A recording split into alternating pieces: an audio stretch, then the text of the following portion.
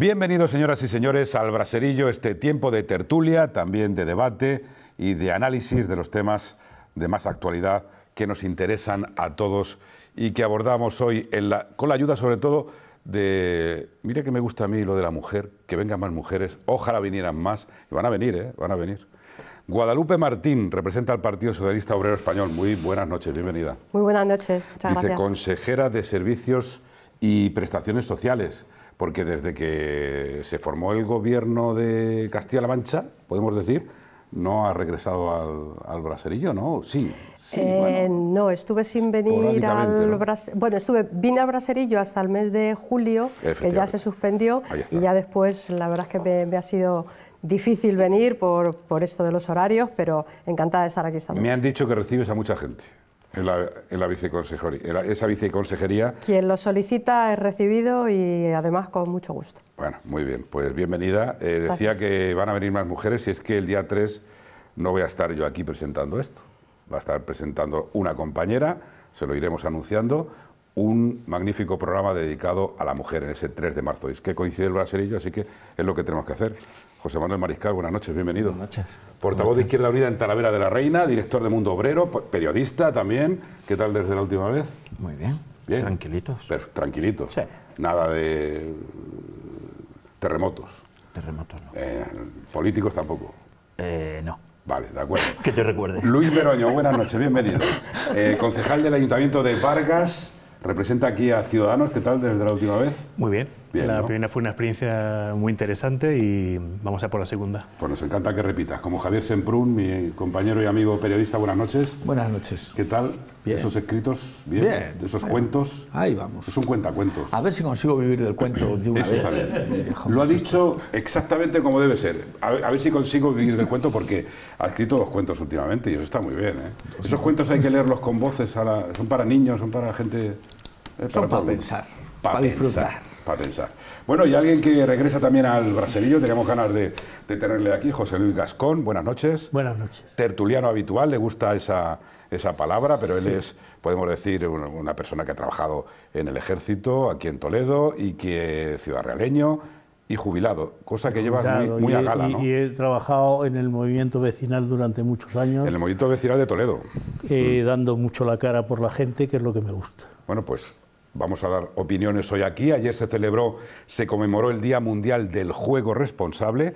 Ya saben que en las eh, casillas del calendario se van incorporando celebraciones a cada, a cada día y ayer le tocó a ese asunto del juego que está proliferando en los últimos tiempos en las denominadas casas de apuestas que se han instalado también en el paisaje urbano de las ciudades e incluso en poblaciones más pequeñas. Cuando hablamos de, juego, también estamos hablando de apuestas, ténganlo en cuenta, como la quiniela, el cupón de la once, la primitiva o la bonoloto, que desde hace muchos años tienen su regulación. El juego en este país es una actividad completamente legal y de la que el Estado ingresa una parte bastante importante. A lo que hoy nos referimos es a la proliferación de esos establecimientos donde se puede apostar y que están en el punto de mira de las administraciones por el consiguiente riesgo que sobre todo eh, pueden tener los menores o les puede ocasionar a, los menores, a la juventud.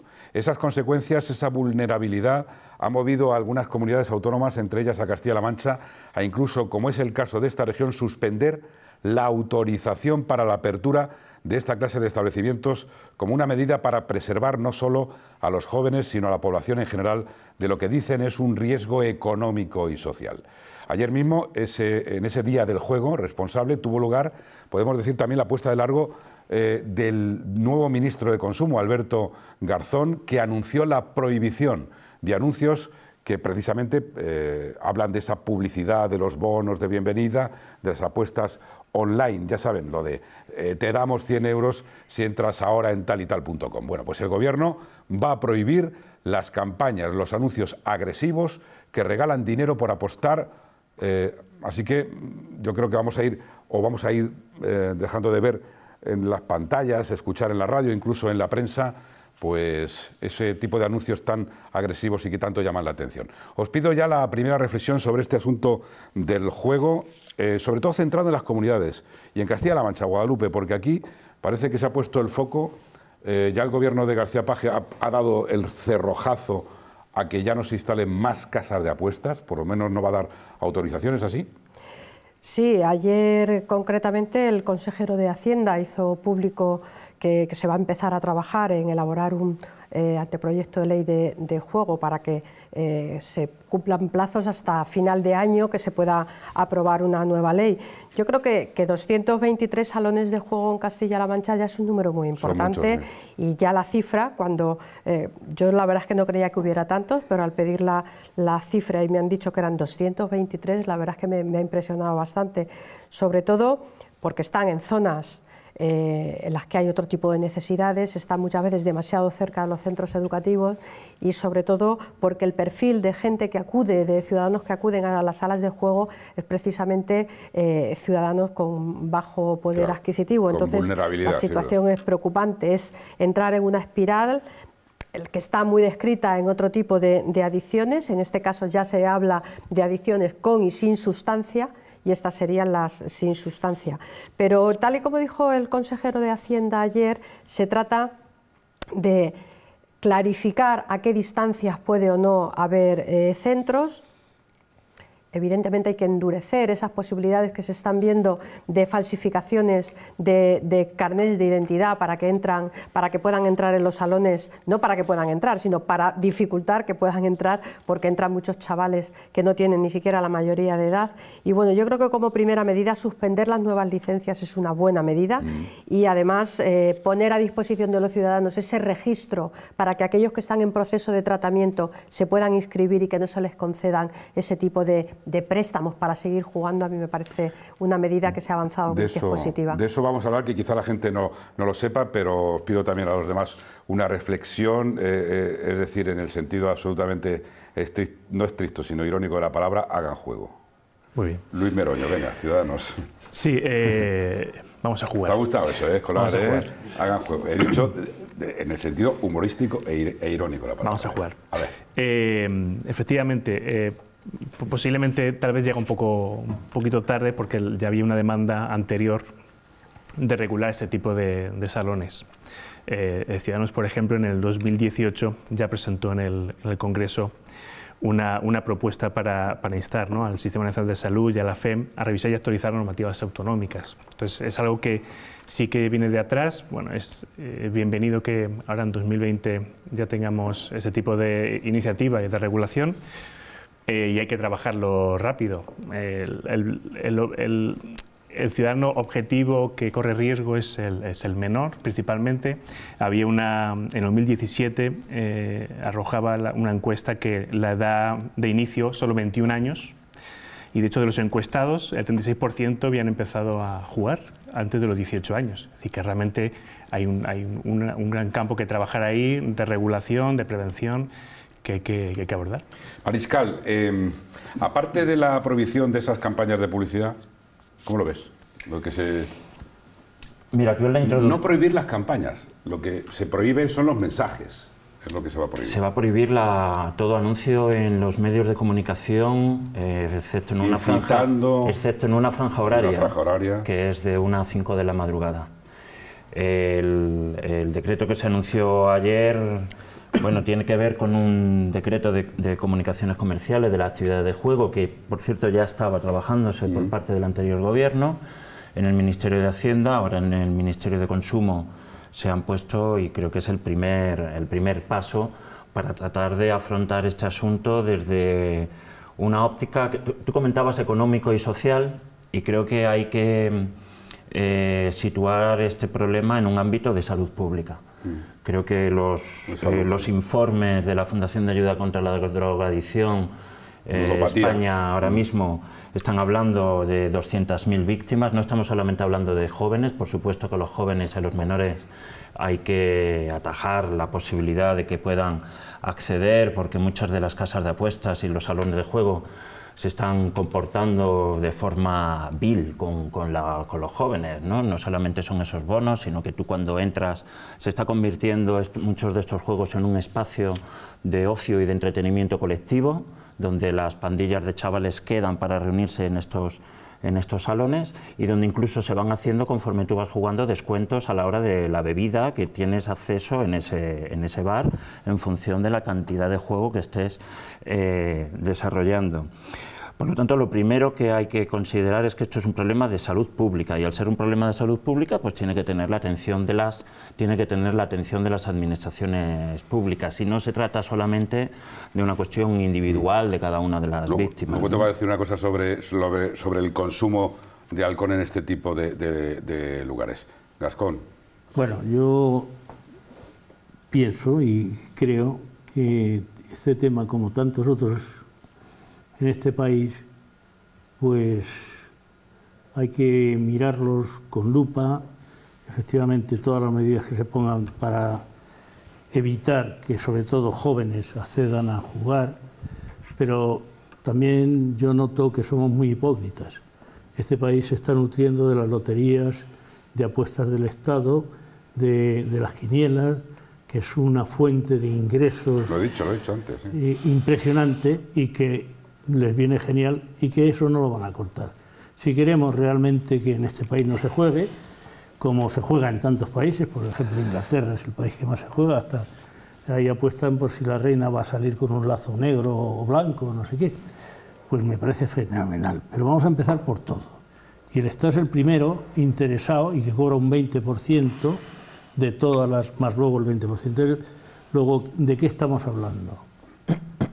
O sea, ¿de qué estamos hablando? ¿De la mentira? Pues vamos a seguir hablando de, de regular el juego. Sí, a los jóvenes, pero la mentira está ahí. Pero el juego existe desde hace mucho tiempo y te van a contestar también. Bueno, Semprún. Bueno, pues por eso Eugenio, es un tema que da mucho juego y que necesita una apuesta decidida por la sociedad. Total, También lo veremos.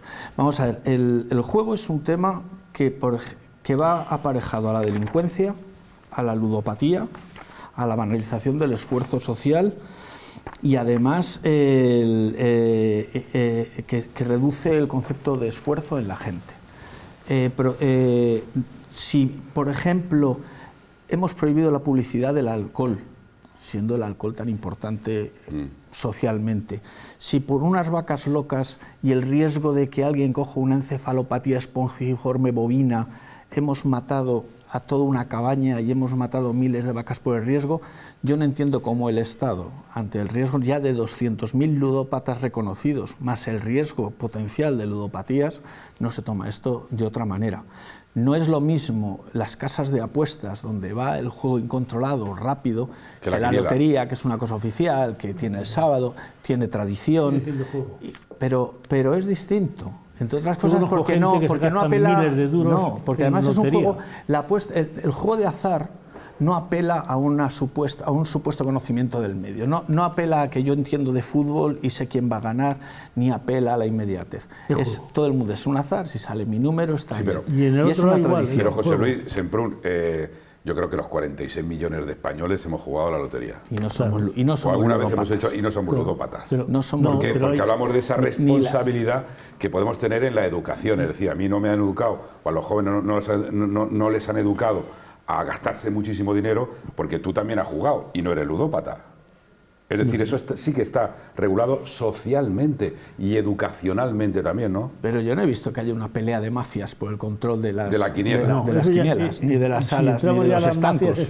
Porque es público. Porque es público, porque está organizado. Estas salas sí, es, decir, es un juego de mafias. Es un juego... Y encima, lo más grave es que la publicidad la están haciendo los iconos entre en, quienes se fija nuestra juventud. Futbolistas y actores, sí, a es absurdo. Sí, sí. El Real Madrid, sí, el Real Madrid, perdonad, que, y médicos. Introduzco un dato más que tenéis muchas ganas de hablar. José por favor, por favor no, no, hagamos, no hagamos conversación. Aparte de la prohibición de esas, de esas campañas de publicidad, ya se ha dicho aquí, agresivas, que ofertan bonos económicos, ojo, que se hacen en televisión, en la radio, en la prensa, pero aquí no.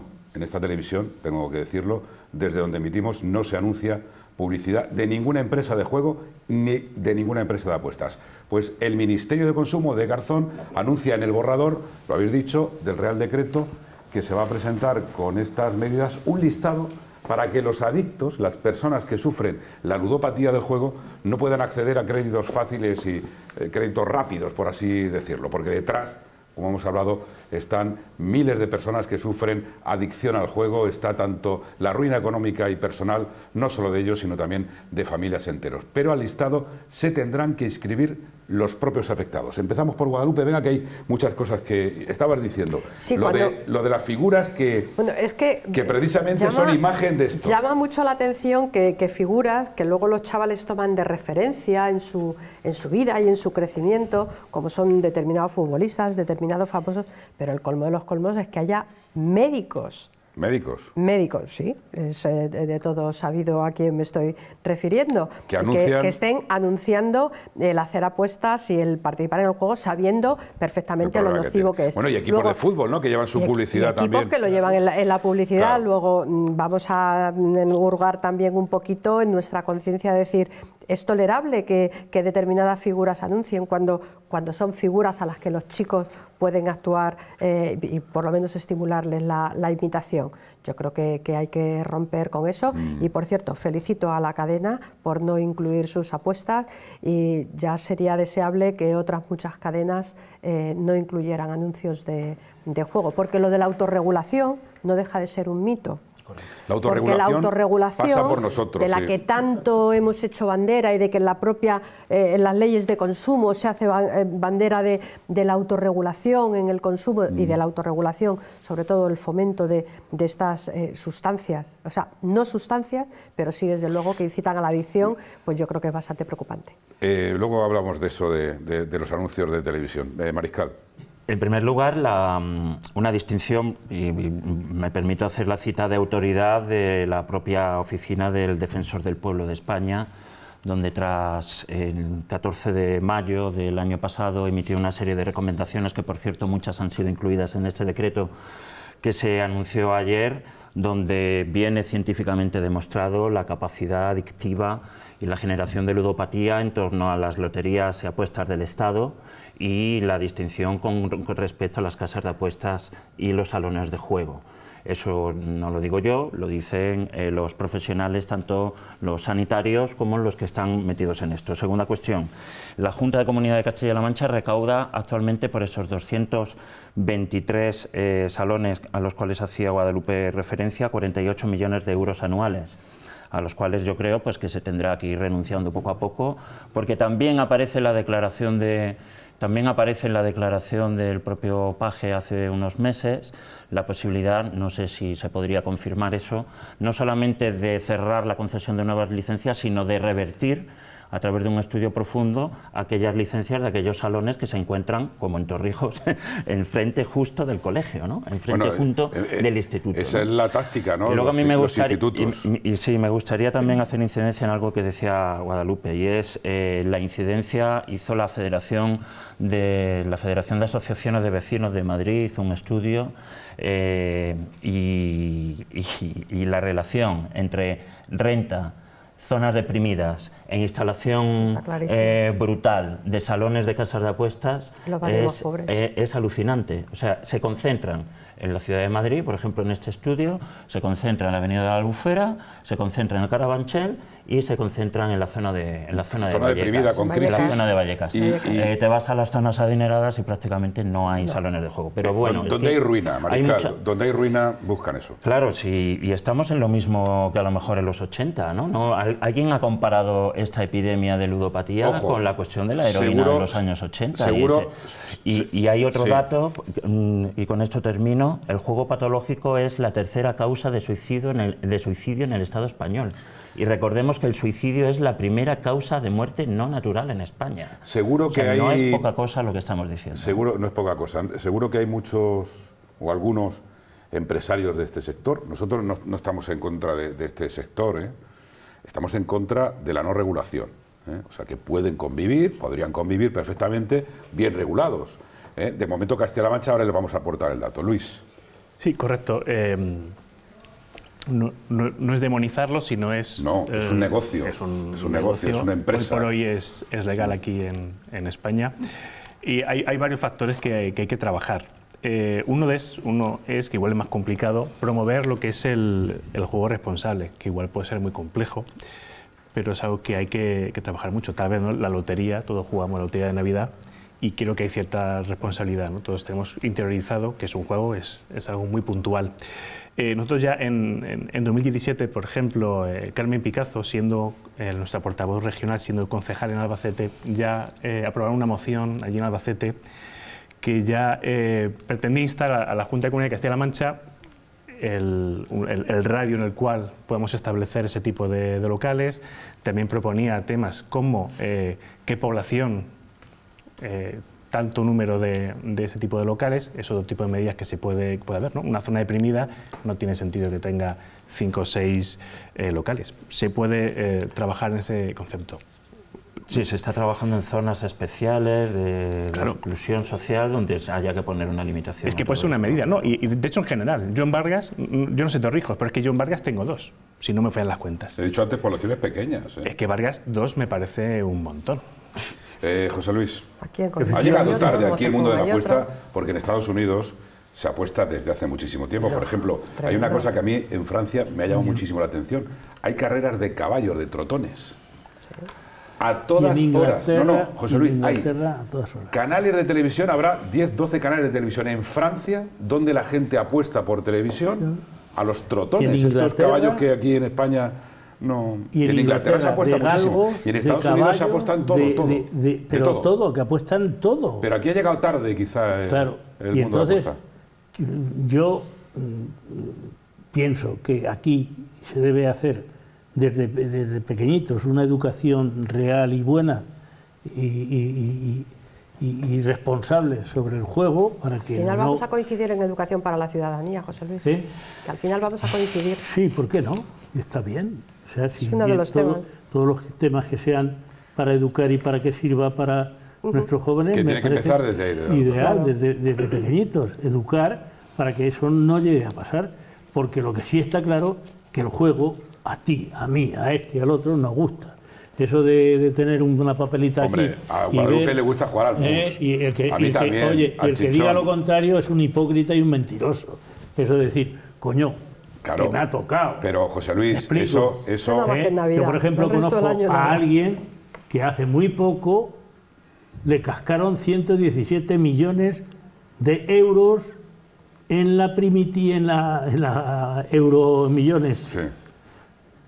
Una maravilla. Pues, fíjate, pues si no tiene la pues cabeza bien amueblada. ¿Eh? Ahora dile tú que no juegues. El, estando de acuerdo, tenemos también el problema de la libertad individual, que vale para el juego, vale para la droga, vale para muchas cosas que dañan. Es cierto que hay deportes que llevan aparejado la apuesta en sí mismo. El fútbol. La hípica. No, no, la hípica. los, canódromos, los canódromos, los hipódromos, las, las peleas de gallos son, deportes espectáculos que lo llevan aparejado. Pero lo importante es que lo lleva eh, localizado en un sitio, en un lugar y con, cierto, y con un control. Eh, ahora, eh, nosotros hemos vivido la experiencia de los casinos. Cuando yo era pequeño, los casinos eran ilegales en España. Y lo mismo que se iban a abortar a Francia, se iban a jugar. Se iban a jugar al casino al sur de Francia y era como un acto de libertad. Vivimos la fiebre de los casinos que vino aparejada con las tragaperras. En las tragaperras ya hemos vivido el tema de las ludopatías. Bueno, eso sigue. ¿eh? Y con los niños. Sí, sí.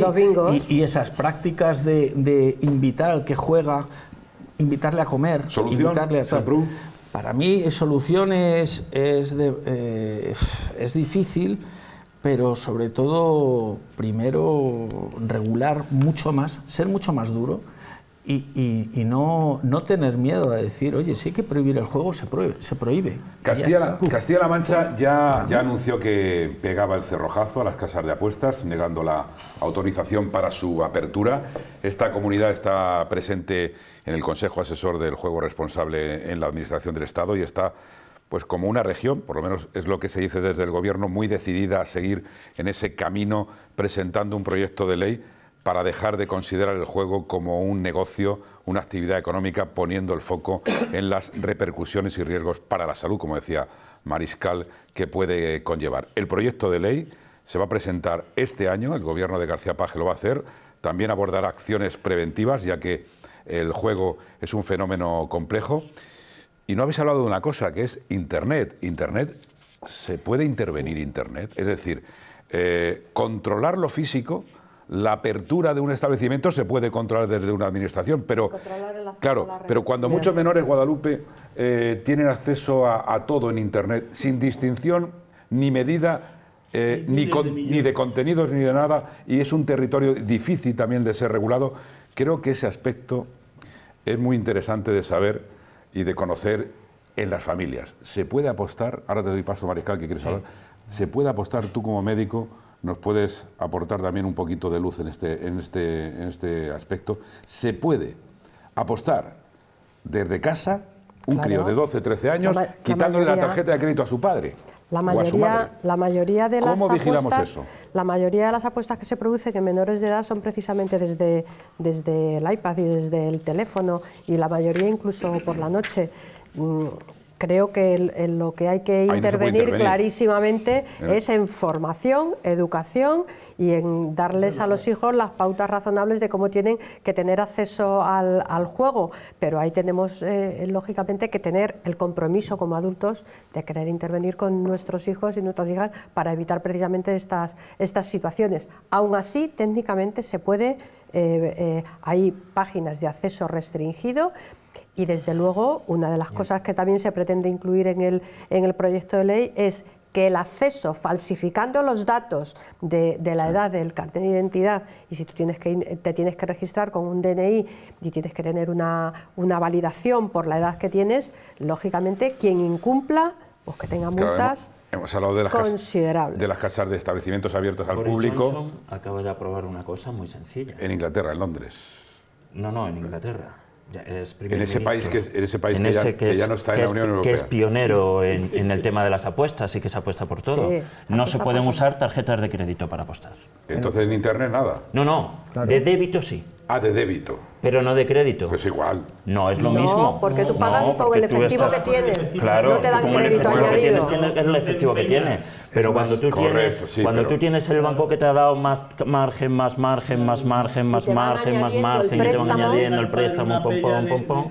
Que no se te olvide todo lo que tienes ahí apuntado, que son cosas interesantes que te he visto. No, eso por un lado. Eh, por otro lado, a mí me resulta alucinante que se haga apuestas deportivas y que las casas de apuestas patrocinen a los equipos de fútbol que están compitiendo. Es que genera, el fútbol genera apuesta, la apuesta se, nutre del fútbol. Pero, pero, estamos, pero estamos, pero estamos entendiendo eso cuando vemos fulanito, patrocinador oficial de no sé qué club de fútbol. Eso no lo comparto no lo comparto, no lo comparto. Pero, no, no, lo comparto, que, un deporte, un deporte eh, estimule eso. No, no, pero, tú te, es que no, no, tú te das cuenta que quien está interviniendo en el resultado de un equipo de fútbol que está participando interviene también se el, el, que, el que no ha habido, ha habido detenciones y todo ¿cómo, ¿eh? voy a, ¿cómo, voy a ¿cómo, se va a consentir que sea patrocinador de alguien que es de parte y que está participando una última ronda. eh, no se puede. venga es muy rápido ya pido verdad que estamos fuera de ese y luego, que se, y luego perdón que luego se apuesta de todo que no estamos solamente hablando de deportes se apuesta de ¿eh? todo se apuesta, se apuesta sobre las elecciones se apuesta sobre los Oscars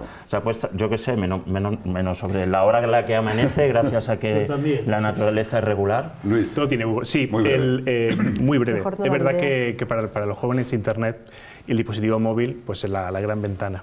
Es verdad que hay, que hacer un gran trabajo de, educación por la parte, uno de los padres. Yo tengo tres hijos, tendré que trabajar mucho eh, con mis hijos. Los padres tienen una parte de responsabilidad, es decir, hay, herramientas de control parental para que los, chavales no puedan acceder a ese tipo de, accesos y muy importante es la formación y la educación y el juego responsable, no tanto eh, para que jueguen siendo menores, sino para que como adultos entiendan los juegos dentro de su dimensión. Pero el PIN parental ese, o lo parental, como se lo llaméis, eso, en estar en el teléfono también, ¿se puede poner en el teléfono de los críos? No, no, no. Se, puede, limitar.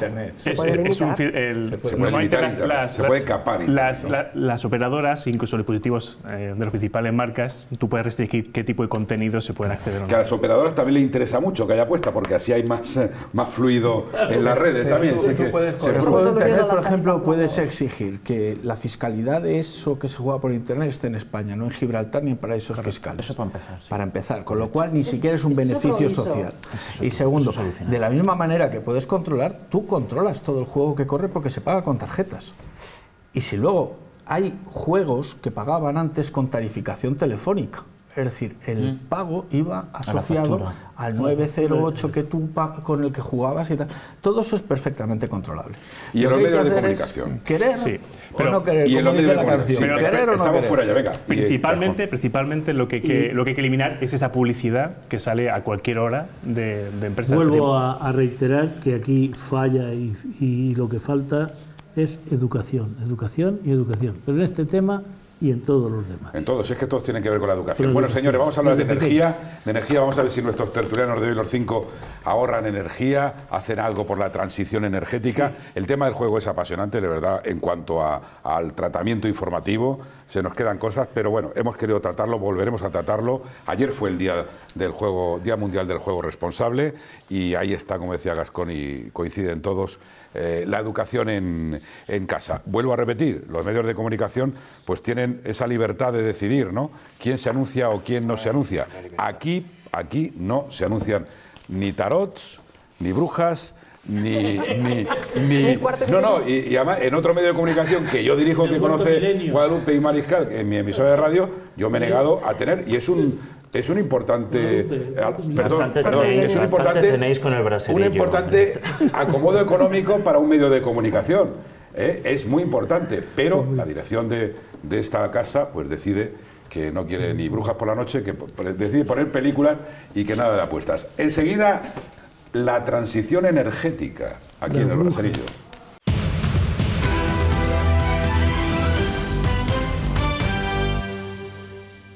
Les hago una pregunta a ustedes que, están ahí viéndonos pacientemente, que están aportando. ¿Qué están aportando ustedes desde, sus casas a la transición energética? Desde su trabajo, si lo tienen, desde su propia vida, a lo que llaman, como digo, transición energética. Es decir, ¿está usted aportando personalmente algo, una acción, algo cotidiano a consumir, no sé, menos recursos y por tanto beneficiar al medio ambiente y en definitiva al planeta en el que usted vive? Hay mil maneras de, hacerlo, de ahorrar incluso o de aportar algo a la transición energética. Hay mil maneras pequeñas, domésticas, diarias, de proteger uno mismo el lugar donde habita. Por ejemplo, su casa. Pregúntese, ¿enciende la lámpara cuando de verdad es necesario? ¿Pone menos la calefacción o el aire acondicionado? ¿Apretuja ahí la ropa en la, en la lavadora? Eh, cierra el grifo del lavabo cuando se lava los dientes, pues hoy no queremos debatir sobre ecología, sino sobre energía. Quería hacerles esa, esa reflexión, esas preguntas para alumbrar, nunca mejor dicho, desde este braserillo virtual que no se enchufa a ningún sitio, desde esta pantalla que entre todos podemos ahorrar mucho más. Antes eh, yo creo que si estamos en nuestra región comprometidos en ese impulso, vamos a tener también un lugar donde vivir mucho mejor. Eh, la transición energética puede ayudar a ello. Debemos también decir que las administraciones eh, tienen que hacer lo que no podemos hacer en nuestras casas. Por ejemplo, ayudar a que utilicemos otras energías, las renovables ponerlas en funcionamiento o poner más facilidades, pero también aplicarlas a los edificios oficiales, la adecuación de esos edificios, el ahorro que hay que aplicar a todas las infraestructuras públicas, la movilidad eléctrica. Bueno, pues ahí tenemos un montón de cosas que nos anuncian ya muchos coches eléctricos, por cierto. Tiene que llegar ese día en el que los vehículos públicos de los ayuntamientos, de las administraciones en general, pues hagan cundir con el ejemplo. Os pregunto ahora a vosotros, si hablamos de transición energética, hablamos, Guadalupe Martín, de un camino que estamos recorriendo. ¿Vamos por el buen camino? Pues vamos por el buen camino, todavía de forma muy, muy lenta.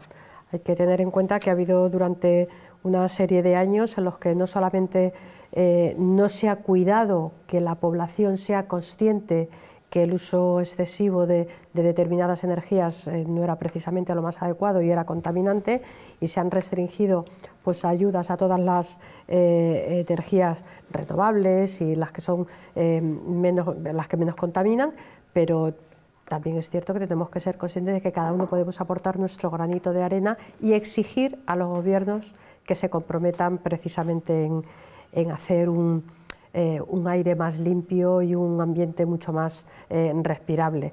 Cuando ahora tenemos determinadas eh, catástrofes naturales y vemos efectivamente los efectos del cambio climático, ahora parece mm. que nos duele más, pero creo que nos queda muchísimo por hacer. Y nos queda mucho por hacer a gran escala y a pequeña escala. Creo que en nuestras casas se puede hacer mucho pero también hay que ser conscientes de que hay que invertir, hay que invertir en, energías renovables, hay que hacer una estrategia clara de compromiso con el clima y desde luego para eso se necesitan políticas valientes, se necesita inversión, porque los edificios públicos hay que hacer una inversión importante para que eh, tenga menor consumo, pero cada uno lo podemos también aplicar en nuestros domicilios y bueno, y en nuestro propio sistema de vida y de transporte, facilitar un transporte público que sea eh, eficiente y que no contamine es muy importante, pero también es importante que podamos, que cuando no nos queda más remedio que utilizar vehículos, utilicemos vehículos y que, y que los vehículos sean también asequibles.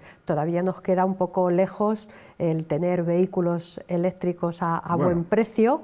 Eh, van mejorando, pero todavía hay muy pocas familias que pueden invertir 50 eh, y 60 mil euros en un, en un coche eléctrico y yo creo que lo que hay que hacer es no penalizar, educar, y volvemos otra mm. vez al punto que decíamos antes, de educar y ser conscientes de que el cambio climático está aquí y hacemos algo o nos va a pasar, nos está pasando ya factura. Creo que ya todas las voces de alarma eh, han sido lo suficientemente intensas. Bueno, pues vamos con este debate energético que, del que dice Guadalupe que, que le queda todavía un largo camino, ¿no? Es verdad lo de los coches eléctricos, nos anuncian los coches eléctricos, pero la verdad luego hay, que tener también un lugar donde repostar, ¿no? Luego vamos a hablar de un coche eléctrico. Repostar e invertir en el, propio coche, José Manuel Mariscal, eh, que todavía no, es barato. que todavía no son baratos. José Manuel Mariscal, ese camino que estamos recorriendo de lo que dicen, si hablamos de transiciones, que estamos hablando de, de un recorrido, ¿no?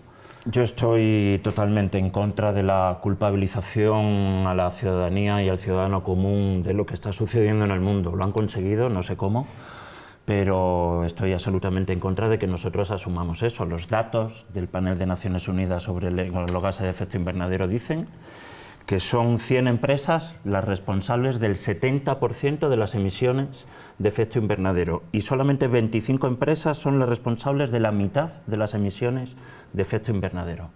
Petrolíferas. 25 empresas, señores y señoras. petrolíferas. Sí, ahora si queréis os puedo leer el listado, pero 25 eh, empresas son muchas, pero sí, claro, la mayoría, claro, petrolíferas.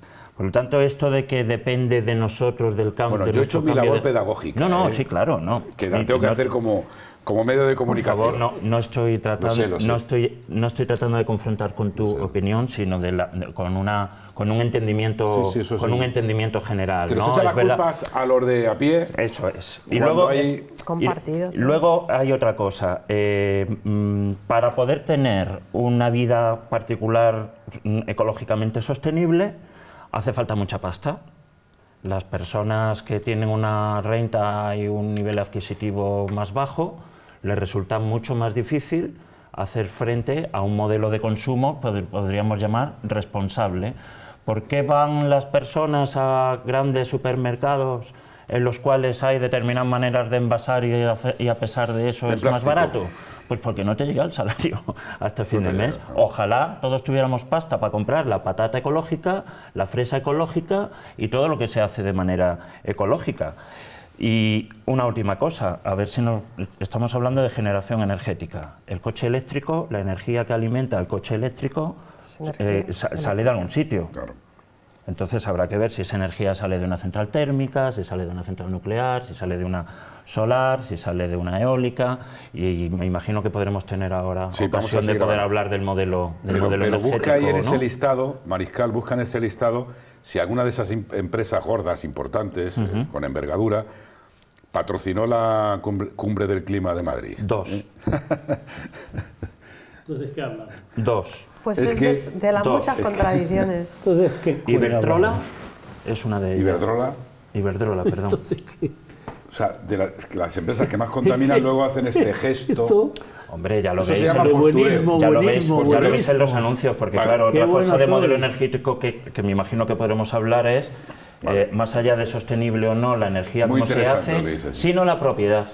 Luis Meroño, la propiedad. ¿qué piensa de, todo esto de, del movimiento e impulso energético que necesitamos? Eh, bueno, es cierto, no es culpa de los ciudadanos, es culpa de todos.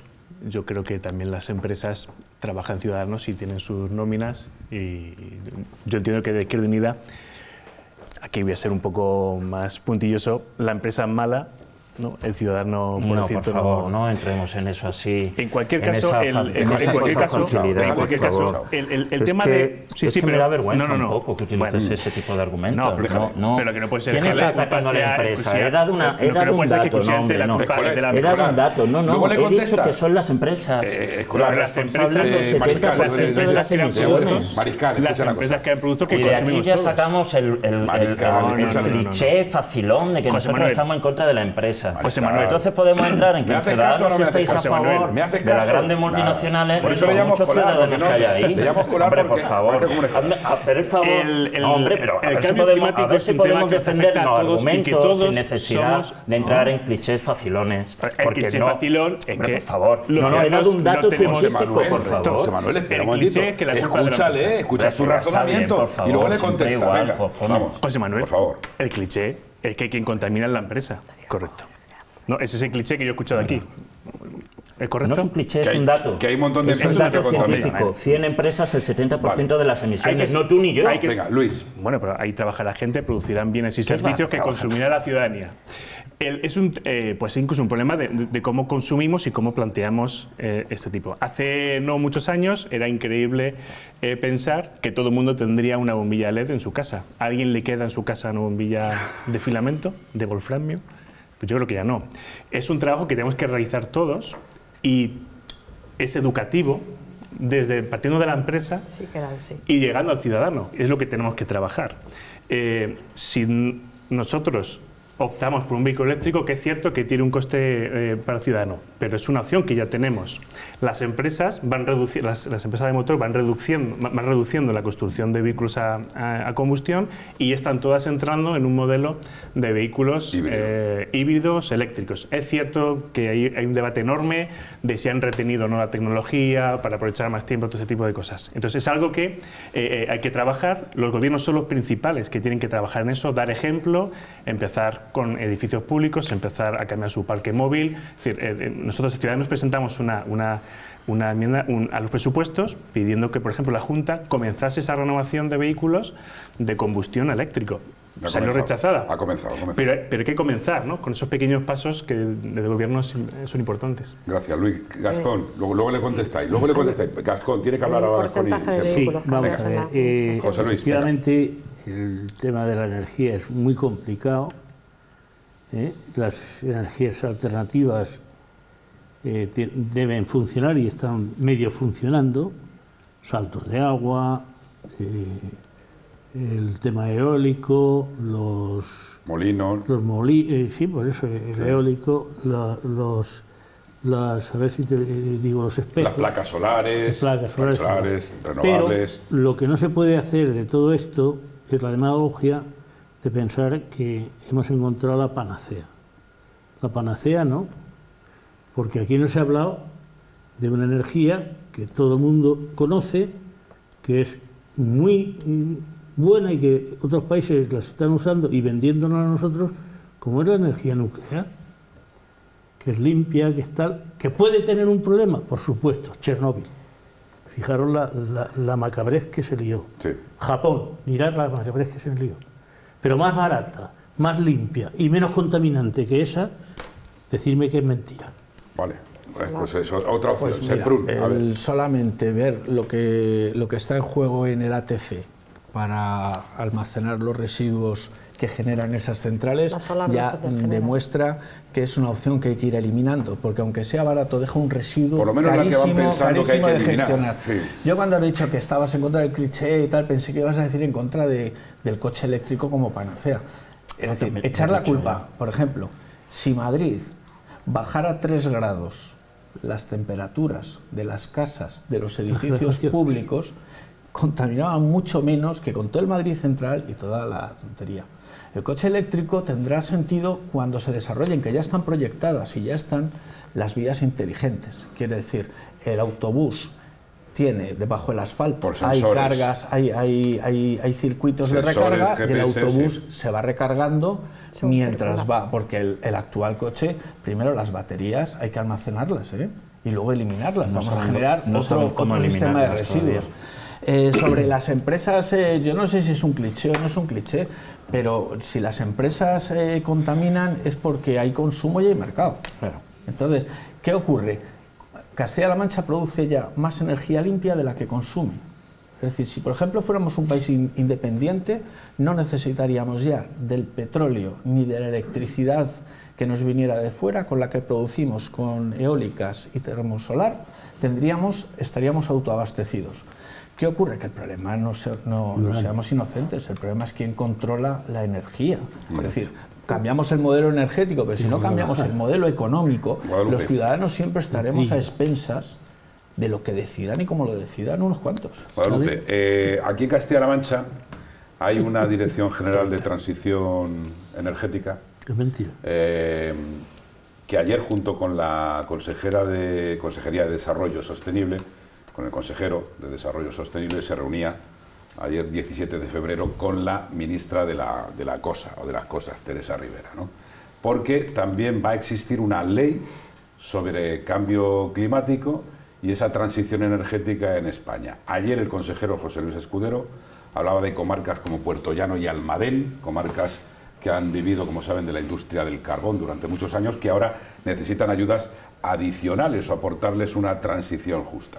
Aunque desde el gobierno de Castilla-La Mancha se habla de que aquí se están haciendo bien los deberes por lo que dices en PRU. Concretamente el dato, eh, eh, no le tenías, sé que le, conoces, pero yo sí que eh, sé que es exactamente el 50% de la energía que se genera en esta región, en Castilla-La Mancha, ya procede de esas energías limpias y renovables. O sea que de momento aquí, aquí se han hecho, se han hecho los, los deberes. ¿no? Bueno, Puerto Llano y Almadén, o sea, es que es algo, nos están viendo allí además en Ciudad Real, también en la provincia de Ciudad Real, allí se producía carbón, ¿no?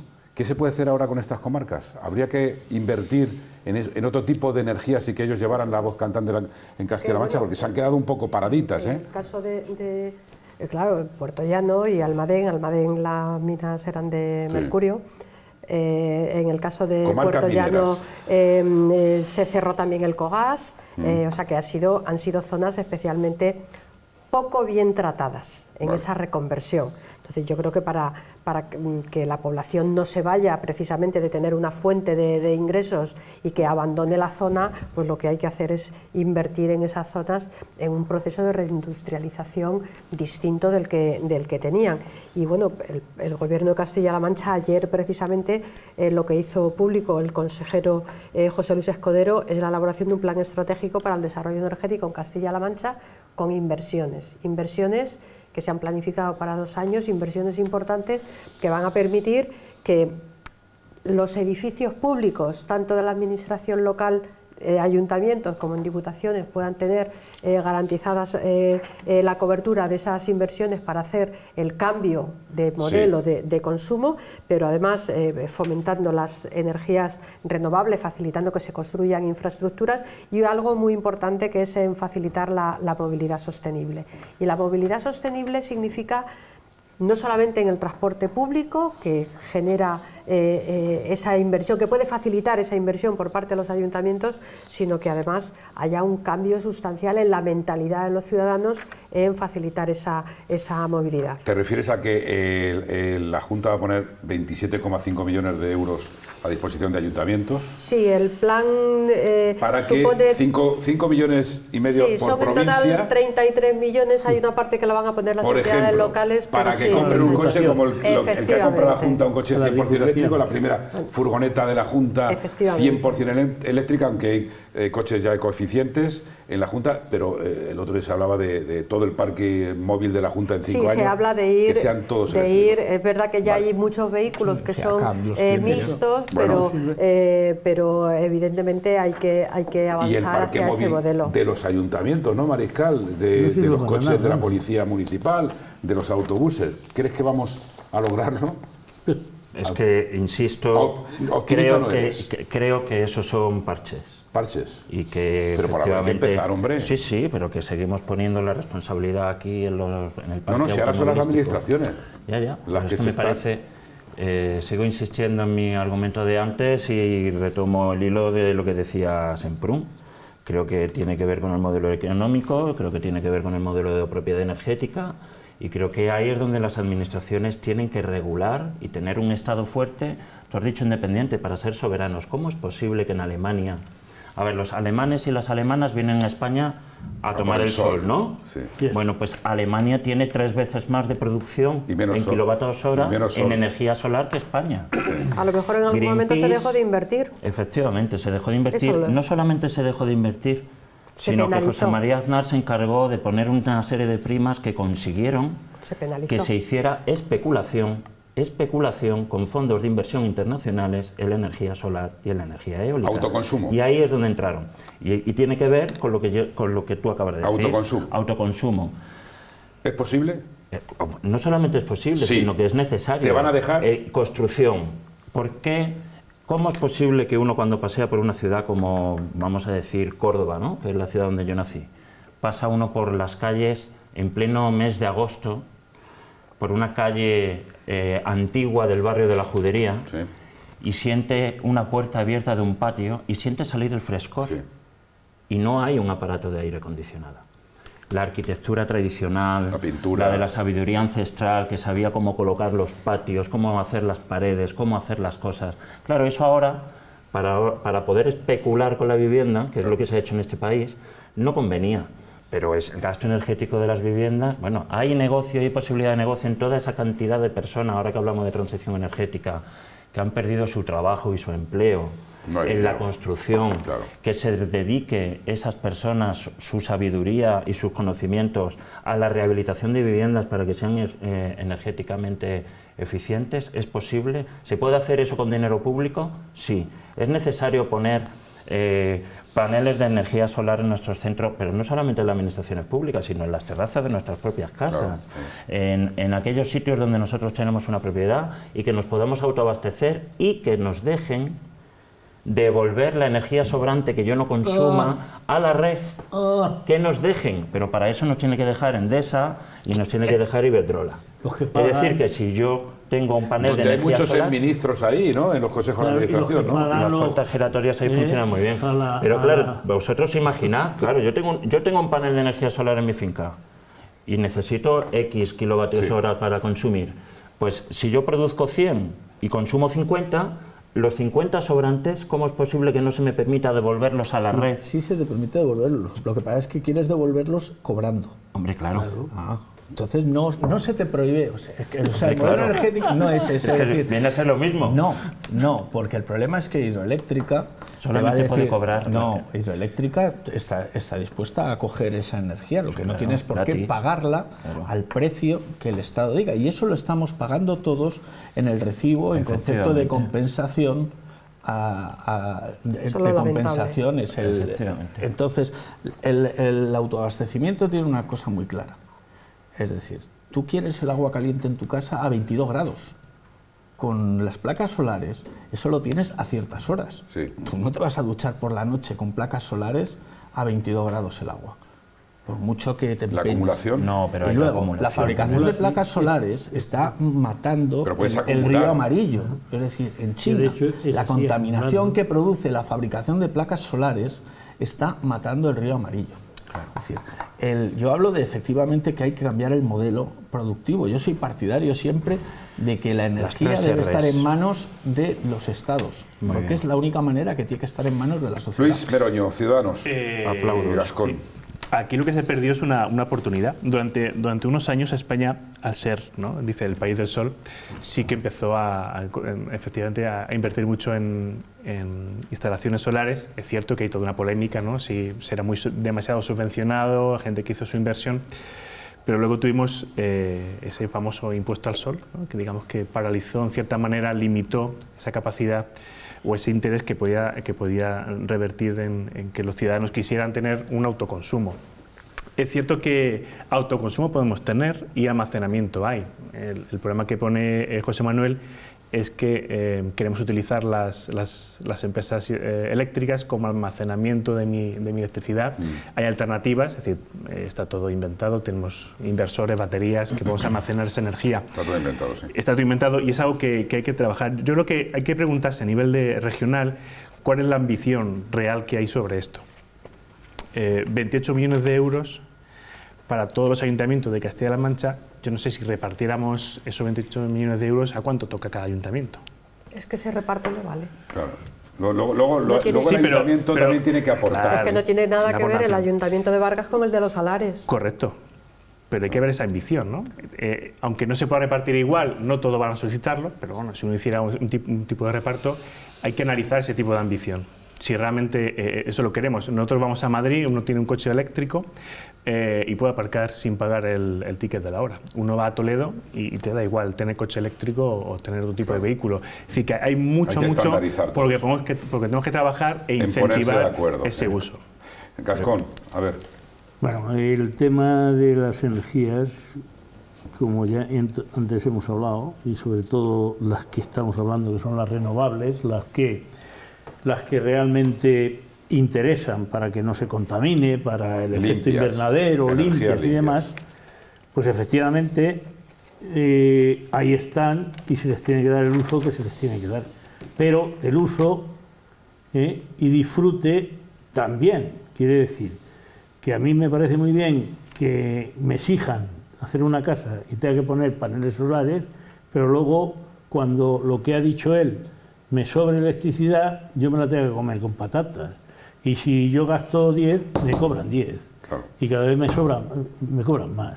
Entonces, habrá que hacer unas leyes de tal forma que interese realmente tener esas energías renovables eh, y el Estado, como ha hecho en tantas veces y sigue haciendo con el alcohol y con el vino que compra los excedentes, pues que los compre y que sea no un negocio de, particulares, sino un negocio y un bienestar para todos.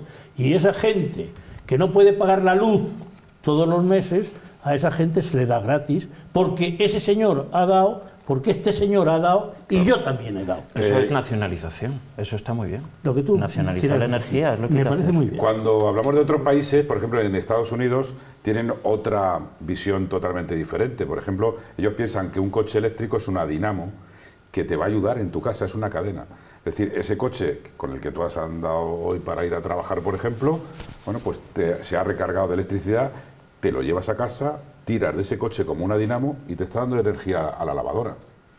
Lo entendemos así, ¿no? Yo lo he explicado así, someramente, de una manera bastante clara, para que cuando hablamos de autoconsumo... Sí, pero hay que tener cuidado porque además Estados Unidos es como un continente lleno de, zonas... Y de muchos sol. Absolutamente.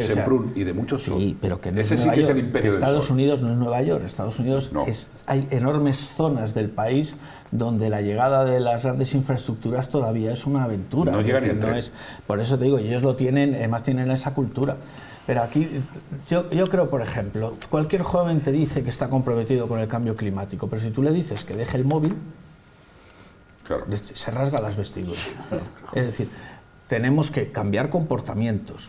¿Por qué en España no puedes reciclar como en, en, Bélgica, en Alemania, ese envase de plástico, llevarlo a un sitio donde te dan unos céntimos y lo cambias en consumo? Porque hay una empresa intermedia que controla todo, que no sabemos si es pública, semipública, que controla el mercado de los residuos.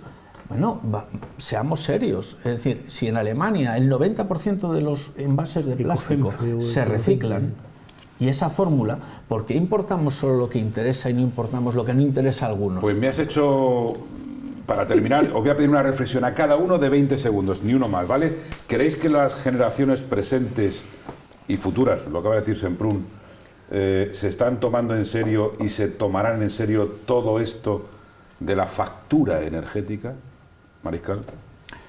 Siempre y cuando seamos capaces de entender que las tres R's del consumo tienen su ordenación y su relación. La primera es la primera R es de reducir. Reducir. Y por lo tanto reducir el consumo, el nivel de consumo en el que estamos es desaforado. La segunda R es reutilizar Recordamos cuando llevábamos el litro, la litrona para que nos dieran otra. La leche o el aceite, sí, o el agua. Bueno, yo me acuerdo de la litrona. Sí. Y la tercera R, reciclar. Reciclar. Pero por ese orden, no al mismo nivel. Lo primero es reducir, lo segundo es reutilizar y lo tercero es reciclar. Pues al colegio. Eso. ¿Eh? Eh, eh, para las nuevas generaciones. ¿Crees que se lo van a tomar, se lo van a tomar ellos más en serio? Añadiría una, una cuarta R, a reducir, reeducación. No, regañar, regañar no, pero renunciar. Hay que renunciar a muchos hábitos que, bueno, que, es lo que hemos visto siempre en la casa y en el comercio y nos tendremos que acostumbrar a hacer otro tipo de consumo más, más responsable comer más verdura, más fruta, más productos que no sean eh, tan contaminantes como, como, comemos, pero con eso no quiero decir que, que sea ni vegetariana ni nada por el estilo, eh, pero sí creo que hay que renunciar a esa forma de consumo desaforado en la que todo viene empaquetado en aceite, eh, uy, en aceite, perdón, en, plástico, en, plástico, en aceite, ¿no? En plástico, pero que, pero que también es verdad que, que mm, hemos renunciado al consumo de los productos de cercanía y yo creo que eso es lo que tenemos que, recuperar para evitar ¿por qué, ¿por qué, por, la tienda del barrio. ¿Por qué, señores? ¿Por qué, la tienda del barrio, eso, está muy bien. ¿Por qué, además, nadie te va a atender mejor que tu carnicero, que te conoce tus gustos, tus prioridades, ni el frutero eh, que tienes al lado, la tienda de barrio toda la vida? ¿Que ¿Por qué venden en algunos supermercados la bolsa de plástico? te, te, la cobran una bolsa de plástico cuando todo lo que llevas en el carro es, es, es de plástico. Eh, Luis, eh, y ahora Gasconi, muy breve. ¿Crees que la, pregunta es muy sencilla? ¿Generaciones presentes y futuras se tomarán, se toman en serio esto ya? Yo creo que sí. Eh, hablo por mis hijos. Yo soy muy de darle la tabarra de que hay que ahorrar en, tener toda la casa encendida por la comodidad. ¿Y van al contenedor amarillo, al azul, al...? Sí, sí, sí. Tenemos los, los, los, cubos de basura, se les enseña, lo van conociendo y, y, no solamente el tema de energía está asociado a cosas que en Castilla-La Mancha nos pueden... Ahora no, afecta mucho Madrid, sí, como puede ser la calidad del aire, pero sí hay temas preocupantes como puede ser la calidad del agua, que además en Castilla-La Mancha tenemos un problema. La energía es... Bueno, este, este, tema, perdón, es algo que nos puede eh, ayudar mucho, nos conciencia y no todo es energía como tal, sino una buena calidad de vida buena calidad de vida. Yo creo que no, que desde que... ¿Que tú crees que la generación venidera? No, nada. Vale. Que desde que el niño con un año se le da el papá esto para que juegue y gaste electricidad. es cierto. Desde que se duchan y se tiran tres horas metidos en la ducha. No salen a correr. Desde que no, apagan la luz porque no les sale del higo. También. Y demás entonces, ¿qué demagogia me estáis contando? No, no, no. no. La mayoría de los chicos aprenden en el colegio cada uno queda su opinión. Y lo de Se lo pongo ahí y es la verdad. Que no, que los, los, que los chavales... No todos sería reeducar. Pero, pero, ahí, pero, eh, pero no me joda el niño vamos a, a, la juventud la estamos formando nosotros. No nos ya, ya, sí, sí, a mí que, que, que una generación nazca sobre un elemento que evitas muchos problemas es lógico, si lo que hay que hacer es que esto no sea una, no nos cueste una factura energética de consumo brutal. Y, para eso está la investigación y para eso está el, desarrollo. Pero vamos a cerrar McDonald's y Burger King. Claro. ¿Sabemos el daño que produce al clima el haber convertido el consumo de carne de vacuno en ocio? Porque es que no estamos hablando de alimentación, estamos hablando de ocio. Es decir, es que para divertir, para entretener al niño, lo llevamos al Burger King, que se come una hamburguesa. Y lo que eh, consume en agua y en cereal, que exige agua, una vaca, sí, pero a lo largo del año es brutal. Eh, tiene mucho que ver la, invasión de, de, esas dos marcas que acaba de decir de hamburgueserías con el poder adquisitivo. Eh, es decir, una familia puede comer por 12, 13 euros los cinco. Pero en, es que, en, una hamburguesería. Pero no, van, pero, no van, pero no, van a comer. Es así. Eh, te, lo digo, te lo digo porque conozco a la gente que hace estudios de mercados de esas empresas que van precisamente a las zonas donde no, donde no puede ir la gente al restaurante. Pero que van a comer, no van a comer la comida diaria, que es falso. Que van de ocio. Sí, de ocio. Se, inventó para el ocio, pero al final muchos terminan comiendo por el eurito la hamburguesa. Señores, hay un partido que vamos a. eh, escúchenme, eh, un partido que conoce muy bien eh, Mariscal, que es eh, un partido que quiere resucitar ahora en Castilla-La Mancha, quiere resucitar.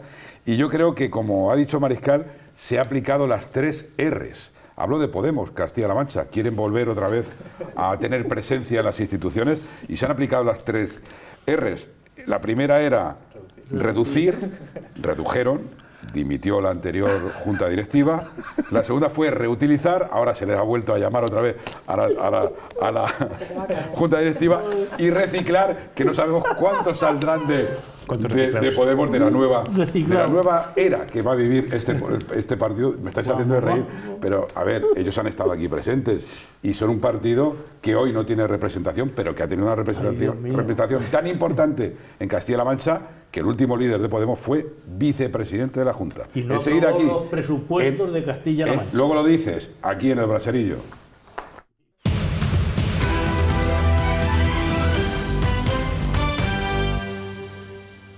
Hacía tiempo, antes les decía que no hablábamos en este braserillo y más en el escenario de Castilla-La Mancha de un partido que tras perder representación parlamentaria parecía que se había esfumado. Hablo de Podemos. Aquí tuvo su sitio en este programa donde hemos eh, compartido esta misma mesa con algunos de sus representantes. Algunos ya no están, otros decidieron dimitir y otros ahora quieren resucitar esa esencia de Podemos en Castilla-La Mancha llamando a la movilización de sus bases. La historia de Podemos en esta región ha estado escrita por nombres como José García Molina, exsecretario general del, partido en la región, último candidato que perdió esa presencia institucional y que llegó incluso a ser, tras el acuerdo con el PSOE regional, con el Partido Socialista de Paje, vicepresidente nada más y nada menos que de la Junta de Comunidades. Fueron también conocidas las disputas, las polémicas internas que eran totalmente eh, externas y a los ojos de toda Castilla-La Mancha, con el otro diputado de los dos que tuvo Podemos, David Llorente, disputas que eh, llegaron incluso a denuncias entre unos y otros. El caso es que Podemos,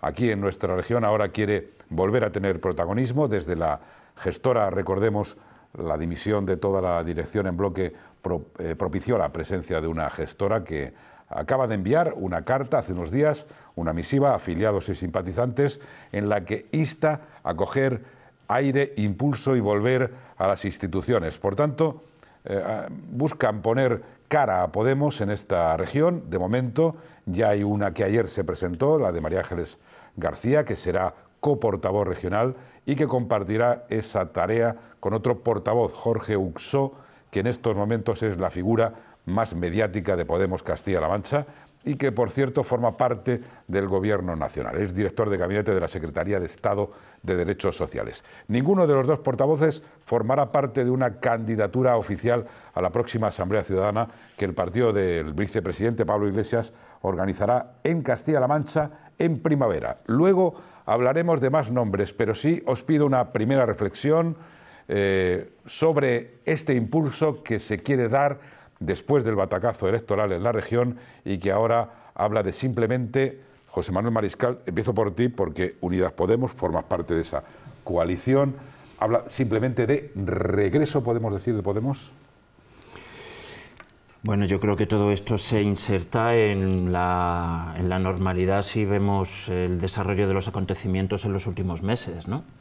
Un proyecto político encabezado por el señor Molina, que sufre un serio varapalo en las urnas cuando se producen las elecciones autonómicas y municipales, que con un ejercicio de absoluta normalidad democrática y coherente, a mi entender, eh, abandona la dirección, lo cual lleva pues, a, la, a la fundación de una gestora, al impulso de una gestora, que tiene que tener su proceso y evidentemente eh, hay, como en Castilla-La Mancha como en el resto del Estado, pues personas y militantes y simpatizantes y votantes de esta organización política que tendrán que organizarse ¿no? y tener sus órganos de dirección en, en condiciones y con toda tranquilidad. Desde Izquierda Unida eh, te diré que, eh, bueno, a mí a mí en general no me gusta hablar de mis colegas cuando no están delante. Bueno, yo, sé que va a ser muy tanto para el PSOE aquí representado por Guadalupe como para eh, Ciudadanos representado por Luis y por ti, porque no os gusta a los partidos políticos hablar de lo que pasa en el partido en la, acera de enfrente. A ti, a ti, no te gusta hablar de tus colegas mal cuando no están tus colegas delante. Claro. Tú si tus colegas No te voy a contar por qué no están. Si tienes, que, si tienes que hablar mal de, con un colega tuyo, mm. no lo haces a sus espaldas. Mm. Normalmente si es colega tuyo y, tienes amistad con él, Pero aquí te aprovechas esa amistad, aprovechas esa amistad para hablar directamente con esa persona y toda esa persona es a la que le dices, oye, pues mira, no por aquí, no por allí, si es colega tuyo, ¿no? ¿Pero qué les dirías? Y en este caso, bueno, pues que es necesario, desde Izquierda Unida les decimos que es necesario que, que Podemos recupere su organicidad en Castilla-La Mancha. ¿no? Es un referente político importante, es un partido político que no es el mío, pero es un partido político con el que nosotros tenemos un proyecto unitario que va más allá de, mm. más allá de nosotros. ¿Y desde el PSOE cómo lo veis? Este regreso, vendrá la Asamblea Ciudadana de Podemos de Castilla-La Mancha en primavera, y se elegirán ya eh, los nuevos, podemos decir, rectores de, la cosa de Podemos, ¿no? Pero ¿cómo lo veis desde el PSOE de Guadalupe? Yo sinceramente lo veo con el máximo respeto. Cuando hubo ese proceso de, aparición de, Podemos en Castilla-La Mancha, que fue toda una sorpresa en muchísimos pueblos, en muchas ciudades, y, que además esa aparición supuso la práctica desaparición también en muchos sitios de, la presencia de Izquierda, Unida, fue un proceso pactado entre los dos entre los dos partidos. Y bueno, pues la propia evolución y el pasar del tiempo ha llevado a que eh, Podemos prácticamente eh, ha desaparecido por el proceso electoral en el que se pierden las elecciones y pierde la representación autonómica. Y, eso conduce a la, a, la, división de los responsables de, de Podemos. Yo, mm, como opinión personal, te puedo decir que, que, respeto muchísimo todo lo que sea el, que pueda fortalecerse opciones de, izquierda en, Castilla-La Mancha, desde luego también tengo que decir, eh, si esas opciones de izquierda quienes más eh, pueden verse fortalecidas son las, las posturas y la representación del Partido Socialista, muchísimo mejor, pero que valoro como positivo el que haya otras opciones y que eh, la posibilidad de encuentro y la posibilidad de compartir determinadas políticas, pues siempre, siempre más, más posible. Pero cualquier proceso interno de cualquier partido creo que hay que vivirlo desde el máximo respeto, mm, respeto absoluto, es un proceso eh, que, bueno, las personas más comprometidas con, Podemos eh, lo quieren así, ellos lo deciden, y de la misma forma que ha habido momentos en los que ha habido demasiada crítica y demasiada opinión externa en otros procesos internos del Partido Socialista y yo siempre he pedido respeto, ahora reivindico de nuevo ese respeto a que los procesos internos de, cada partido también se respeten. Eh, bueno, y desde Ciudadanos, ¿qué, opináis de este regreso, vuelta de Podemos, que ahora es una gestora? Eh, se me estaba pasando la frase de murió de éxito. ¿Tú crees que murió de éxito Podemos, Luis? Bastante tienen ellos. Eso es peligroso. Bueno, tú no has dicho que quieres respetar a los demás partidos, ¿eh? pero ya estás cuchereteando. estás cuchereteando ahí en Ciudadanos. A ver, Luis. Se está poniendo la venda antes de la herida, eh, como si fuera a hacer algo. Eh, yo no, no como que coincidir, ¿no? Como es un proceso respetamos totalmente ese proceso interno, tendrán que, tendrán que reunirse, hablar, presentar sus diferentes propuestas y veremos si de ahí sale un Podemos como el que tuvimos hace tiempo o no. Es verdad que la irrupción que tuvo eh, en la anterior legislatura eh, fue muy rápida, fue en parte por absorción, fusión de, agrupaciones de Izquierda Unida en diferentes lugares. Es verdad que, sobre todo en municipios, eh, fueron cada uno con una marca diferente, entonces también el electorado, no sé yo cómo valora que en cada lugar se llame diferente. Yo aún en Vargas, por centrarlo, no estoy seguro si mi compañero es Izquierda Unida, es Podemos, Izquierda Unida, Unidas Podemos, es decir, esa amalgama que tienen, pues no sabemos cómo, cómo un será. Concejal de, un compañero tuyo en el ayuntamiento. Compañero mío. Y además eh, veo cierto patrón en cuanto a, García Molina y, y David Llorente, ¿no? cuando están en gobierno, cómo, cómo, cómo cambiaron un poquito la, forma de ser, la reivindicación, un poco con lo que vemos ahora a nivel nacional, ¿no? como llega Pablo Iglesias y, y, Garzón y parece que ya va variando.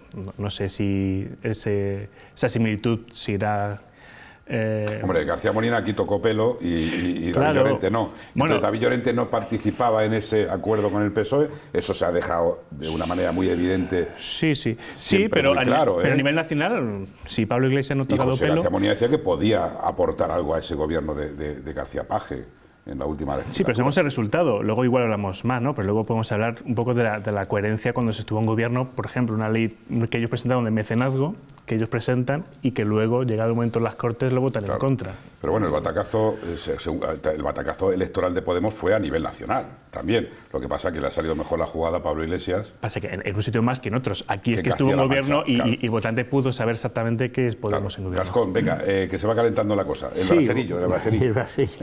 bueno, yo, yo me parece muy bien todas las reestructuraciones. Que se presente, que lleguen otra vez. Que, lleguen, que hagan lo que quieran pero aquí de lo que se trata es de que se dejen de, hacer demagogias baratas como hicieron cuando gobernaron el señor Molina ¿eh? y pasar el bochorno que tuvo que pasar Emiliano García Paje, ¿eh? al cual yo desde aquí le mando un saludo porque... Te ve, te ve por... Porque ¿eh? realmente yo no hubiera consentido y los hubiera echado del gobierno que un tío dijera sí a sus presupuestos y el otro dijera que no, vamos. Eso es, y si ese es el Podemos que va a venir a Castilla-La Mancha, pues que se quede en su casa. No, no, ese Podemos ya no, porque no está ahí. No, ya, pero, está en digo que salida, ¿eh? si, los mimbres son esos, pues mejor que, que no. Solo, un pequeño matiz. Cuando Emiliano los mete en el gobierno es después de que le tiren los presupuestos. Sí. ¿Eh? Entonces, pues ahí Emiliano lo que da es un ejemplo de cómo lo personal no puede, no puede influir y si lo que era necesario para unos presupuestos es tomar una decisión de coalición, se toma independientemente de lo que te diga el estómago. Porque el matín no es que los mantiene el gobierno y te tumban los presupuestos, no, te tumban los presupuestos de esa manera y al final se, se planta el problema de cara. El Partido Popular no está dispuesto no está dispuesto a colaborar en ningún momento y se, y se, se toma el toro por los que cuernos. Podemos Castilla-La Mancha, pero, a Castilla-La Mancha no le hizo ningún bien. Pero mira, tú fíjate, tú fíjate, el problema entre Molina y Llorente, fíjate el problema entre Molina y Llorente, cómo lo estamos enfocando, y en Andalucía los anticapitalistas acaban de romper con Podemos.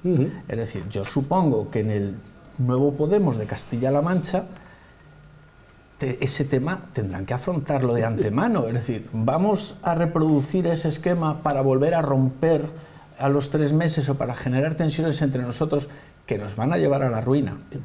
Porque yo creo que gran parte del problema de Podemos es la desilusión por es que es que acabaron muy fuerte. ¿eh? acabaron, con denuncias de acoso, de acoso laboral, de acoso, no sé qué. hablemos claro, hablemos, hablemos claro en este momento. Hablemos claro en este momento de la noche.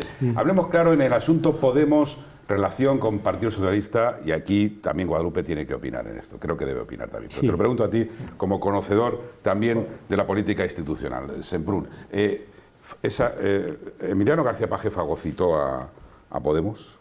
No. no. Vale. No. Hizo, fueron ellos mismos los que, los que dentro de esa estructura institucional eh, no fueron capaces de, por ejemplo, José García Molina, de saber que es vicepresidente de este gobierno y que tiene que ser institucionalmente eh, parte de ese gobierno. yo te porque hubo opinión, contestaciones, ley de mi opinión como la doy de la energía, como la doy de todo, es decir, sin tener ni idea de nada. Pero desde fuera, eh, es evidente que eh, la factura que Podemos paga... Pero Paje... Eh, bueno, no, pero Paje... Supo jugar muy bien. Paje, Paje llega es muy listo, es una persona muy inteligente en ese aspecto. Pero no, olvidemos que hay un, hay un acuerdo previo de gobernabilidad hay un acuerdo de investidura y Paje lo que hace es, les dice, esto es lo que queréis, entrar en el gobierno para corresponsabilizaros, para que los presupuestos no sean un Pero problema. Pero nunca se creyeron que eran parte de ese gobierno. No, no. Por lo menos el señor Molina, ¿no? Y lo, y, lo, eran hasta el punto, hasta el punto que una de las leyes de, de participación ciudadana y tal tiene gran parte del trabajo heredado del trabajo de esa consejería que en su momento se puso en marcha.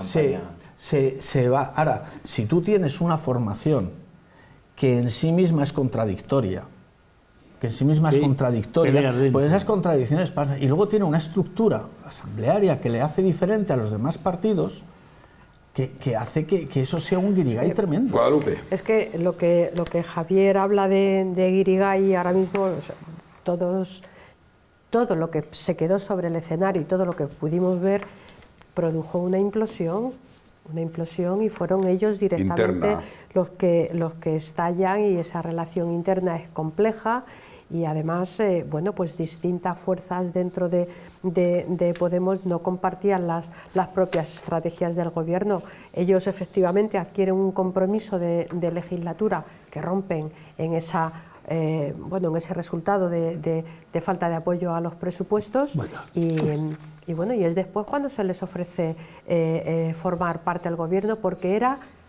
lo que mejor podía ser para los ciudadanos de la región en ese momento. Y yo creo que fue una apuesta eh, muy valiente por parte del, presidente y que, bueno, ellos se vuelven a someter a la consideración de los ciudadanos en las elecciones siguientes y, en el año 19 se obtiene ese resultado. Pero mm, quizá provoque desencanto entre la gente, pero yo creo que el efecto principal eh, fue su propia implosión. Se está hablando de gobierno de, coalición ahora en España. Aquí hubo un gobierno de coalición, precisamente por los dos mismos partidos, PSOE eh, y Podemos. Evidentemente era el PSOE de Emiliano García Paje, el, Podemos de José García Molina. Y ese gobierno de coalición está protagonizado por el PSOE de, Pedro Sánchez y el, el Podemos de Pablo Iglesias. Eh, Pablo Iglesias incluso en las antípodas también de lo que es José García Molina, porque la relación no era muy buena tampoco de José García Molina, se lo puedo asegurar y, ellos lo saben, con Pablo Iglesias. Pero, por ejemplo, lo que sí que podemos salvaguardar a, o extrapolando al gobierno que se produjo aquí de Podemos PSOE, Mariscal, es que nunca quiso coche oficial José García Molina, cosa que tu ministro Garzón de tu partido sí. Eh, no quiso ni casa oficial. Bueno, bueno, pero sí, pero tampoco participaba en actos. No, dice, déjale, déjale. Es una bobada porque. ¿Eh? Lo, del coche oficial, pues porque cuando no, tú José tienes. García no quería ni coche oficial, ni casa oficial. Perdona, no, perdona, casa oficial no tiene, casa oficial no, tiene los consejeros, ¿eh? O sea que por ahí pero no. asesores sí. Bueno, pues asesores sí. Y lo del coche oficial, ¿por qué nos vamos a la anécdota de decir, no quiero coche oficial, pero me tengo que mover por la región? Una manera de región de una manera de gobernar o de querer gobernar o de participar en la, en la no, pero luego necesitas el apoyo de una persona que posiblemente sea de tu equipo con una figura o con otra y que te acompañe a los la viajes pregunta porque es, es imposible no es extrapolable aquel gobierno PSOE Podemos Castilla-La Mancha al gobierno PSOE eh, Podemos que hay ahora mismo en y Unidas Podemos que hay ahora mismo en España, Mariscal, ¿no?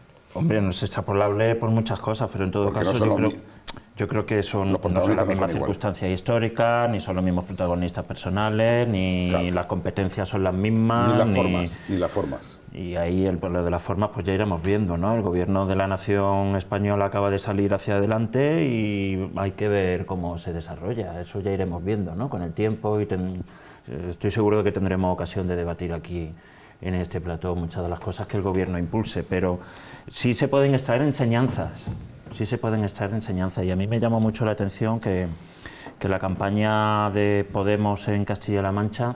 Personalista. No se creyera, más que personalistas, aparte del personalismo, eh, no, es como si como si hubieran estado en la oposición. ¿no? Mm. Eso fue lo que más me llamó la atención de la campaña electoral. Lo de no votes a de, ¿no? de, de García Molina, ¿no? En lugar de en lugar de poner en valor los logros, ya sean pequeños o grandes, que tu presencia en el gobierno haya, haya, podido, haya podido tener. Pero yo aquí hablo yo desde un punto de vista ya de técnica y de marketing electoral, ¿eh? no, de, no, no, político. Y una última cosa que cuando queráis os hago un croquis con el tema.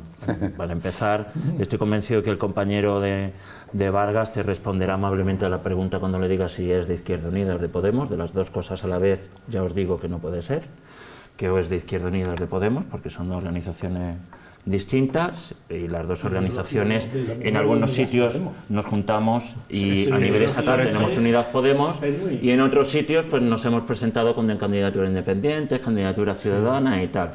Lo que sí es otra enseñanza fundamental. Había candidatos locales que no estaban afiliados a ninguna de las dos fuerzas por y iban en la candidatura. Por ejemplo, y hay, igual que hay personas independientes que forman parte de la candidatura del Partido Socialista, del Partido Popular o de Ciudadanos que no son militantes de esos partidos. Pero termino. otra enseñanza muy importante de esto y termino es eh, que una organización necesita para que sea fuerte y no se vea sometido a los vaivenes y a los altibajos, necesita militancia. Y eso Izquierda Unida creo que lo sabe perfectamente. Nosotros tenemos una fuerza muy humilde en Castilla-La Mancha. Muy pequeñita. Pero tenemos un número de concejales y de concejales de alcaldía, bueno, humilde pero suficiente y que da cuenta de una cosa muy sencilla.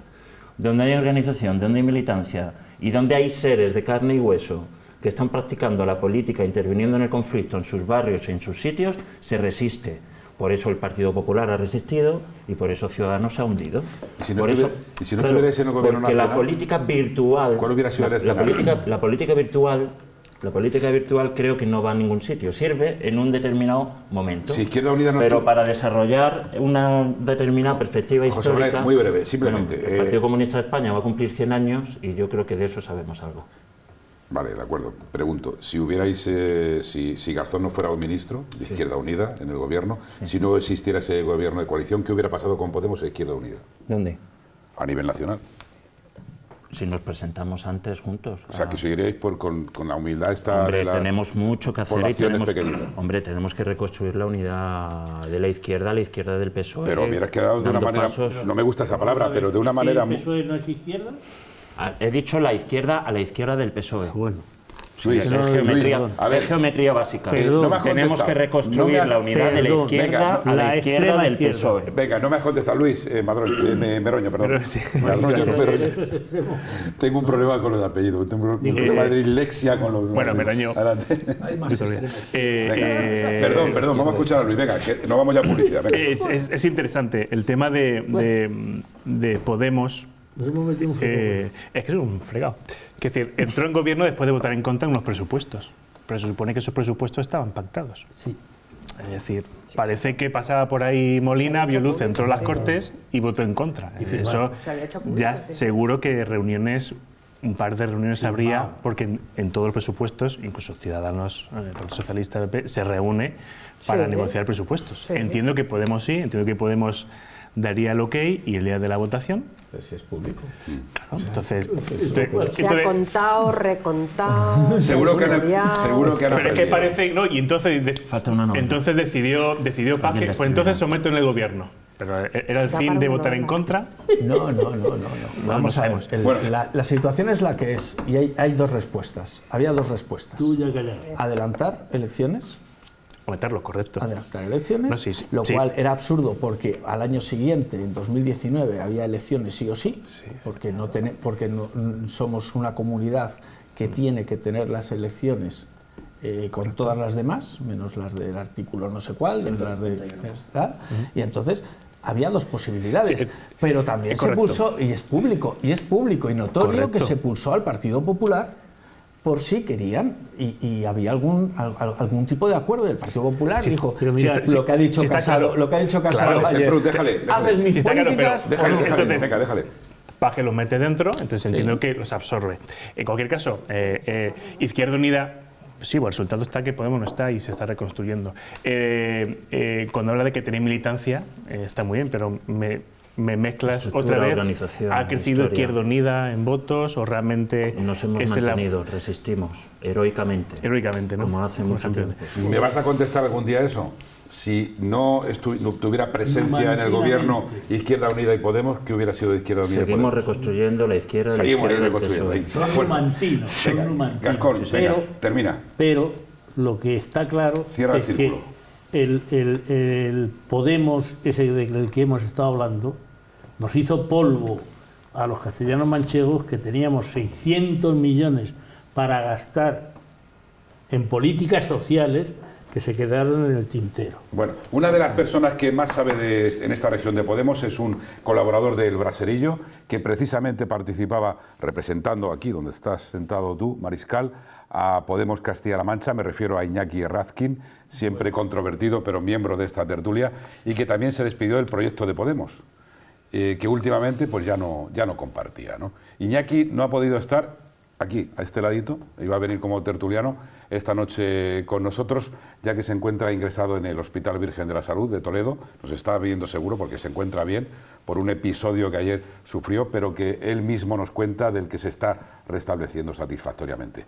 Nos hubiera gustado que hoy estuviera en esta mesa como tertuliano, pero nos va a gustar y agradar mucho más que Iñaki se restablezca, se cure cuanto antes para seguir dando guerra y aportando sus reflexiones. Un abrazo muy grande de todos los que estamos aquí y de la televisión a Errazkin, que creo que le ha pasado algo así como lo de Girauta con Ciudadanos. O sea, a Errazkin le pasó en Podemos como Girauta con Ciudadanos. Que, por cierto, ayer tuvo también un desencuentro en cuatro con Risto Mejide, que le invitó a irse de su programa por no rectificar cuando a Juan Carlos Girauta creo que le insultaban a algunos espectadores. Bueno, pues Girauta, que no se calla, utilizó su libertad de expresión como la utilizan otros muchos. Las, las, opiniones no siempre gustan y eso sí, ya que vive aquí en Toledo, que nos ves y ya que compartimos una buena y, cordial amistad, Juan Carlos, pues aquí tienes también otra, una silla, una mesa, un micrófono y una cámara para que vengas a opinar de lo que te dé la gana, que aquí en este programa no se echa nadie por opinar, por ejemplo, como hemos dicho, de Podemos o de la e-, eutanasia. Es el último tema del, día.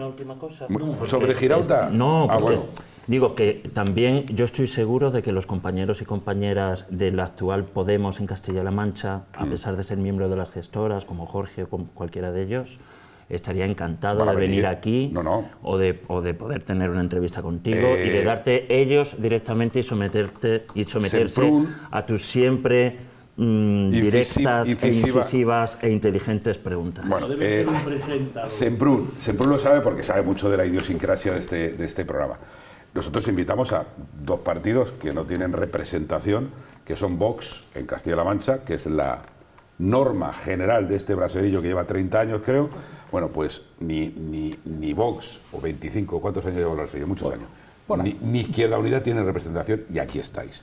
Pero es que Podemos no tiene representación en el propio Podemos, porque no tiene, hay una gestora. Es decir, no podemos llamar a nadie porque ellos mismos han declinado hasta que no tengan una dirección quién decide quién viene, porque aquí quien decide eh, quién viene son los partidos. Los tertulianos lo decidimos nosotros. Bueno, los partidos. Ahora tienen, tienen dos viceportavoces invitados que, además, que además, mira, una cosa que hay que... Una de Cuenca, ¿no? ¿no? pero vamos a alabarles una cosa. Los viceportavoces Ah, eh, se comprometen a no ser candidatos en el proceso. Efectivamente, pueden venir. la limpieza. Algo es algo, porque sus procesos son bastante. A mí, yo quiero que vengan todos los partidos, ¿eh? todos, absolutamente todos. Y han venido. Y han venido, y van a venir. Hasta eh, Toledo. Bueno, vamos a ver con ese tan complejo debate que vuelve a suscitarse otra vez, otra vez, como es el de la eutanasia. Enseguida aquí, en el braserillo.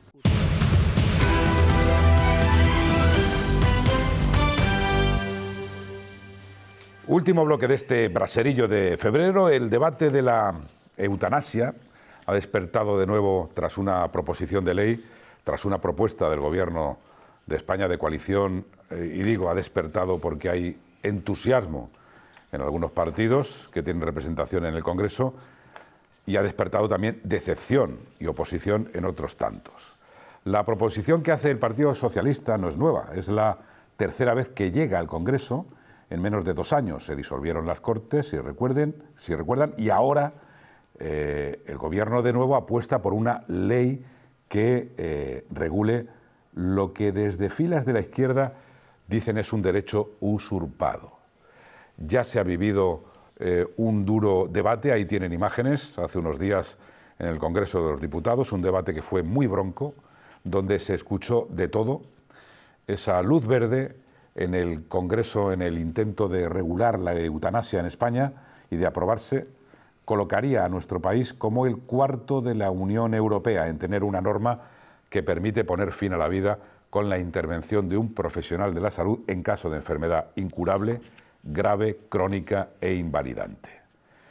¿Qué opinión os merece, y empiezo por la médico, os merece este nuevo intento de, regular precisamente de tu partido, Guadalupe Martín, eh, un asunto que ya de por sí es muy complejo. Es un asunto muy complejo porque afecta a la vida. A la vida y afecta a lo más íntimo de, la decisión de, las personas. Me emociona ver las imágenes porque Em, es verdad que, antes de disolverse el, Parlamento yo estaba ahí, estuve en los anteriores debates y además estuve muy, muy en implicada. la Comisión de Sanidad. En la Comisión de Sanidad ya se había empezado a trabajar en la ponencia de la ley de muerte digna, pero también en la de eutanasia, que son, eran dos conceptos diferentes y dos leyes diferentes, y la verdad es que echamos muchísimas horas de trabajo y, y me emocionan las imágenes. Pero mm, hay algo que, que los ciudadanos tienen muy claro los ciudadanos em, no tienen miedo a morir, lo que tienen es miedo a morir mal. Todos. Y ese mal morir precisamente es lo que eh, es el paso que da, que da, esta ley. Es una ley, eh, un anteproyecto de ley que es muy garantista, muy garantista para el ciudadano que decide acogerse a ella y que es algo completamente voluntario y que supera mm, las consideraciones personales y religiosas y morales y todas las que queramos considerar. Pero eh, los ciudadanos lo que tienen realmente es miedo al sufrimiento y precisamente esta ley lo que hace es intervenir, garantizar que va a haber atención de profesionales en un momento decisivo, como es al final de la vida, en un punto de no retorno con un sufrimiento eh, ya incontrolable y ante el que cada persona decide si se quiere acoger o no a terminar eh, eh, con, ese sufrimiento y, a, que se le apliquen medidas para cortar la vida en ese momento final, ya digo, cuando la situación es irreversible. Es una petición que hace el ciudadano, y que la tiene que manifestar de forma voluntaria y existe una comisión de, control y es una garantía para los, eh, para los profesionales y también para, para los familiares. Em, y además, eh, bueno, permite la objeción de conciencia a los profesionales que no quieran participar en este, en este proceso. No así en la ley de muerte digna, que siempre se ha considerado un proceso de buenas prácticas, pero que tiene que estar garantizado desde el sistema eh, público de salud para garantizar que la, gente va a tener cuidados paliativos y que va a tener una atención digna en todos los momentos de, su vida y, lógicamente, también esa entrada ya en la fase final. Pero mm, este debate que ha salido, eh, eh, que, yo vi... Vamos, a hablar, de él ahora, em, La verdad es que mm, ya digo que, a mí me emocionó por el, por el contexto, pero es lamentable que este debate se produzca en el tono que se produjo.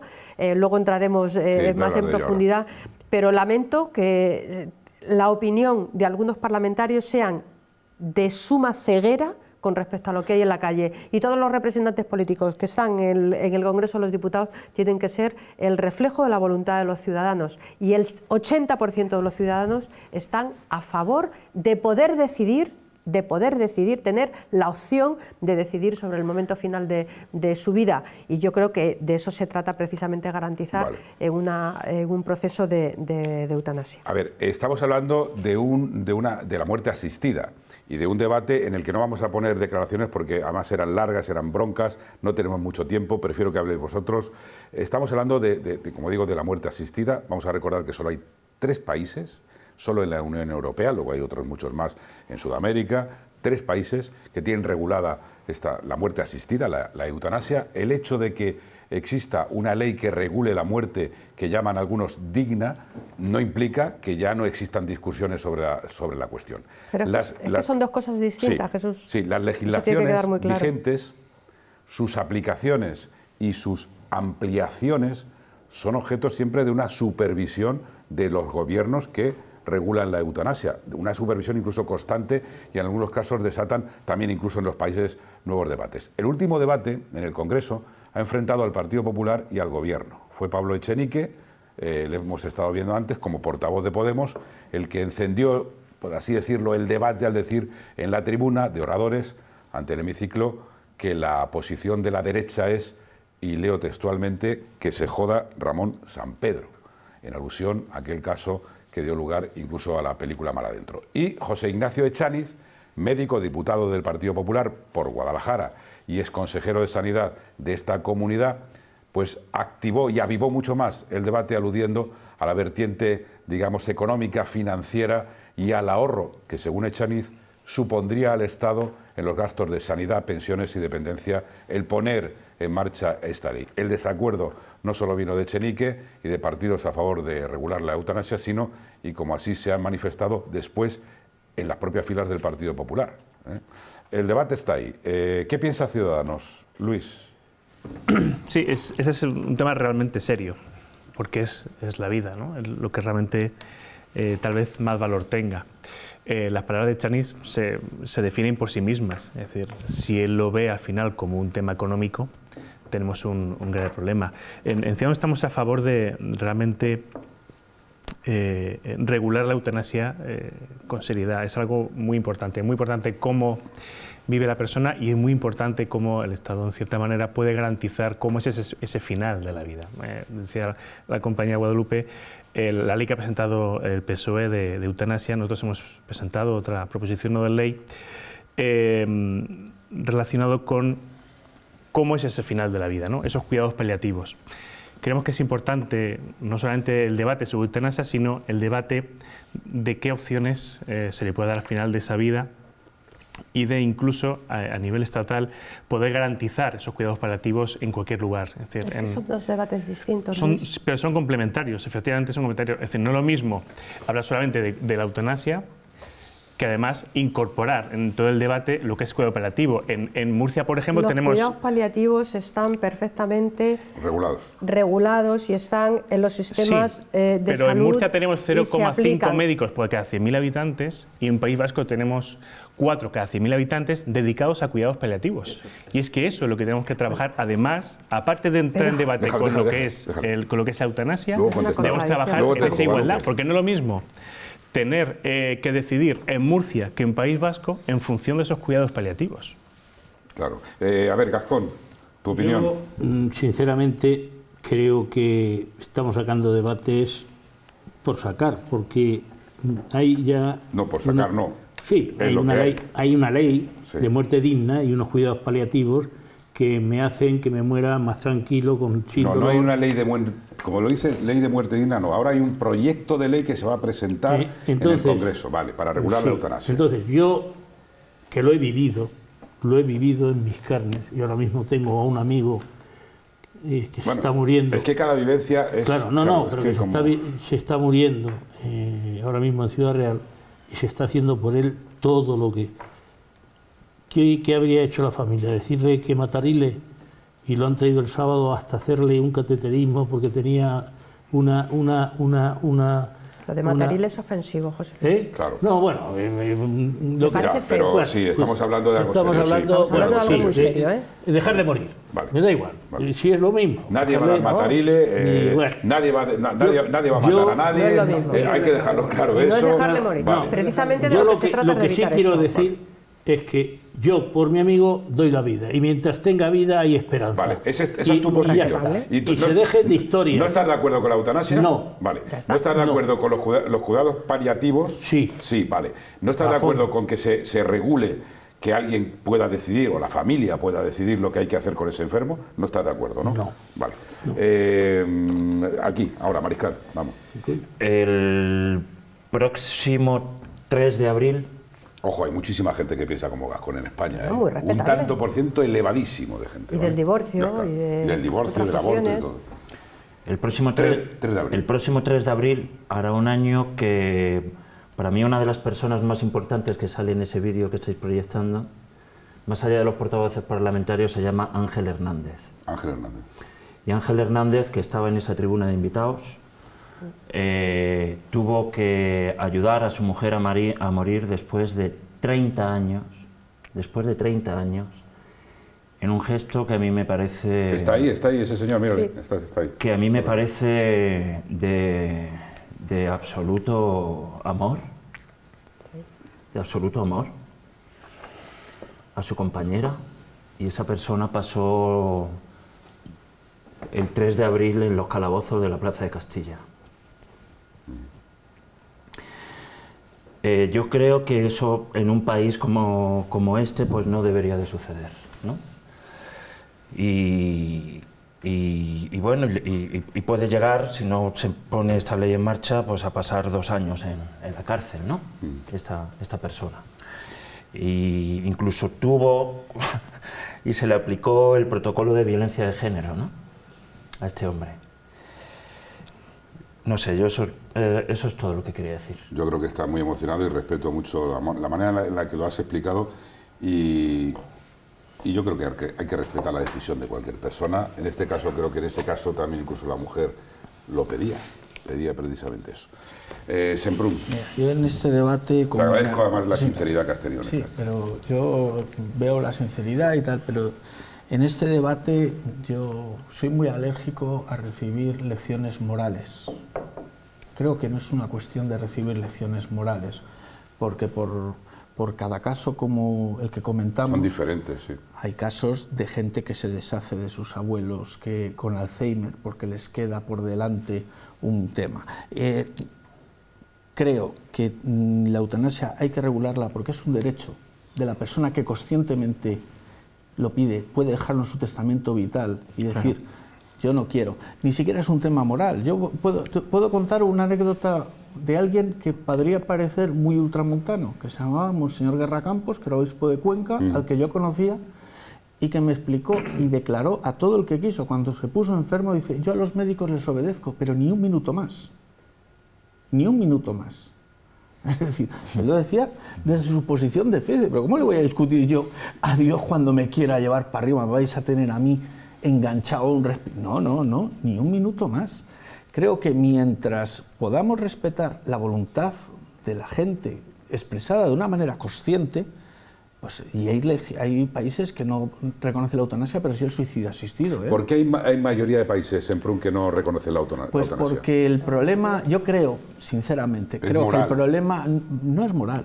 ¿Por qué? Yo creo que el problema es de cómo, garantizamos, de cómo garantizamos la voluntad de la persona.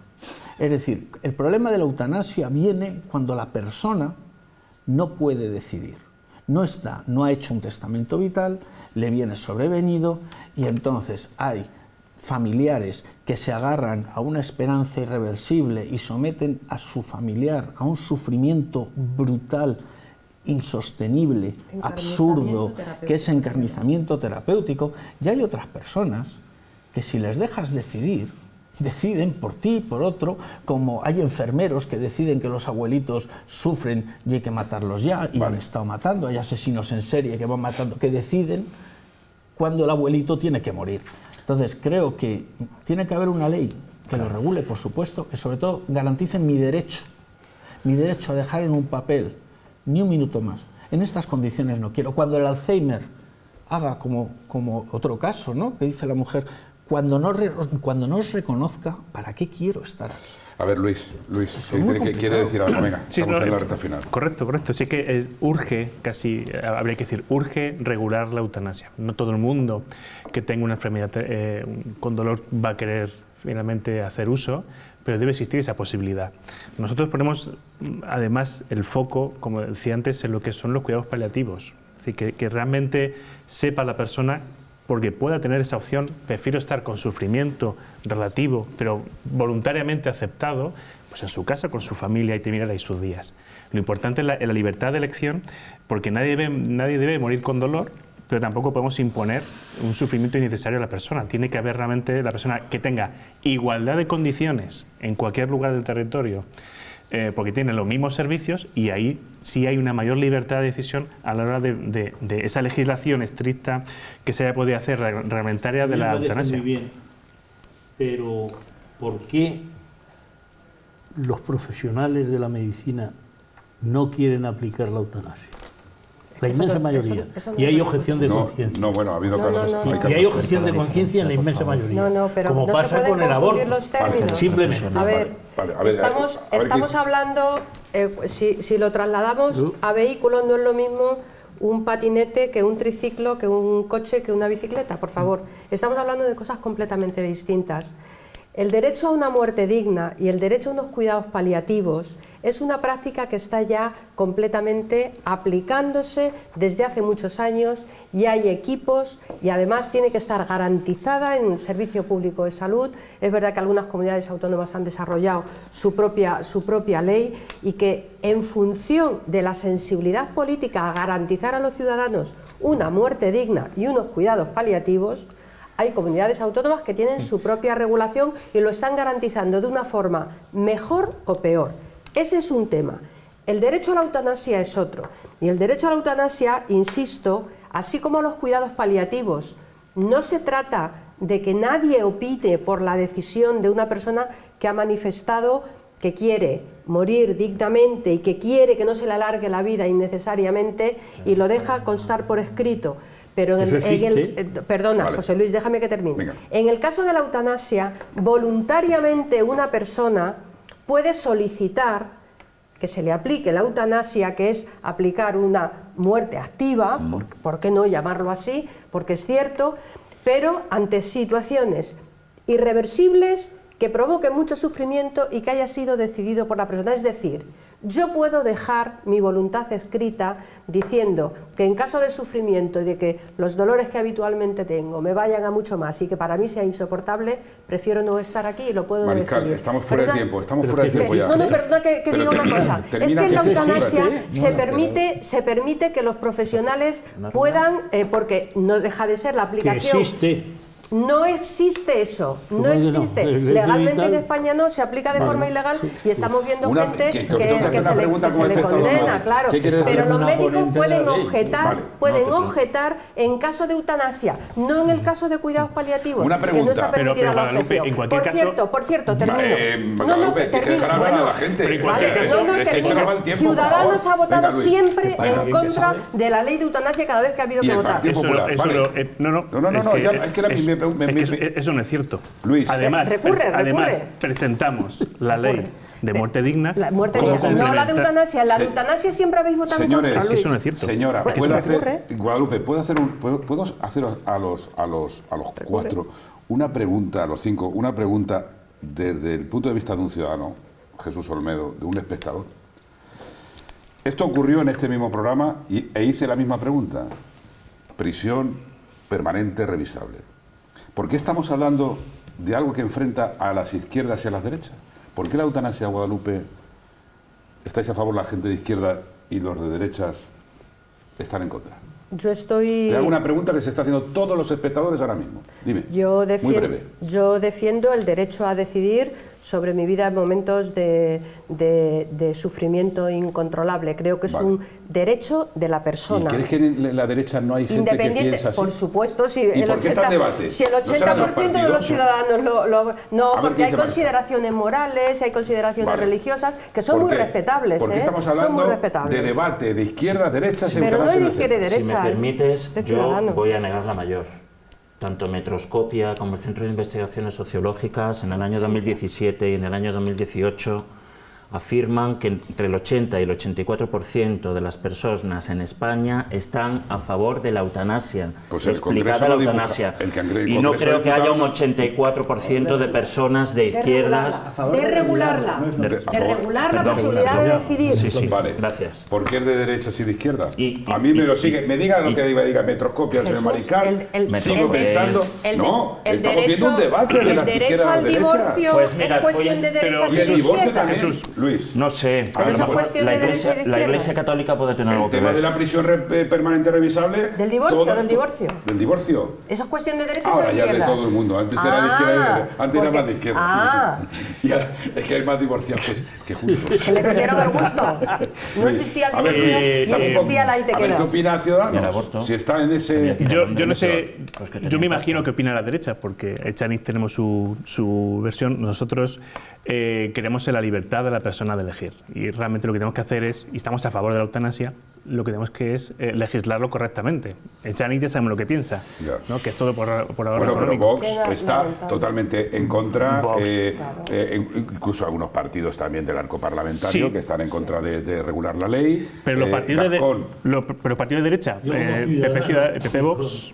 Y perdón, y, habiendo visto durante algunos años a un médico que se dedicaba a cuidados paliativos en la zona de Castilla-La Mancha, muy próximo, pues yo creo que con esos cuidados paliativos se le alivia muchísimo y se les da una buena eh, muerte. Pero no me contestas a lo de si eh, es que estamos en un debate izquierda-derecha. Es de, que la, gente, no es tonta, que la gente estamos viendo esto. a ver, escucha, es que no es de, pues que no es de la gente, sí, que no es de izquierda Es que ideológicamente, ideológicamente este debate es similar al de, la gente. que he puesto el ejemplo antes de la prisión revisable, el aborto, eh, el divorcio. A nadie se le obliga a divorciarse. La primera disputa oficial sobre la eutanasia en los años 30 era entre regímenes totalitarios y no regímenes totalitarios en la que el Estado se, consideraba digno de decidir quién moría y quién vivía, quién era útil y quién no era útil.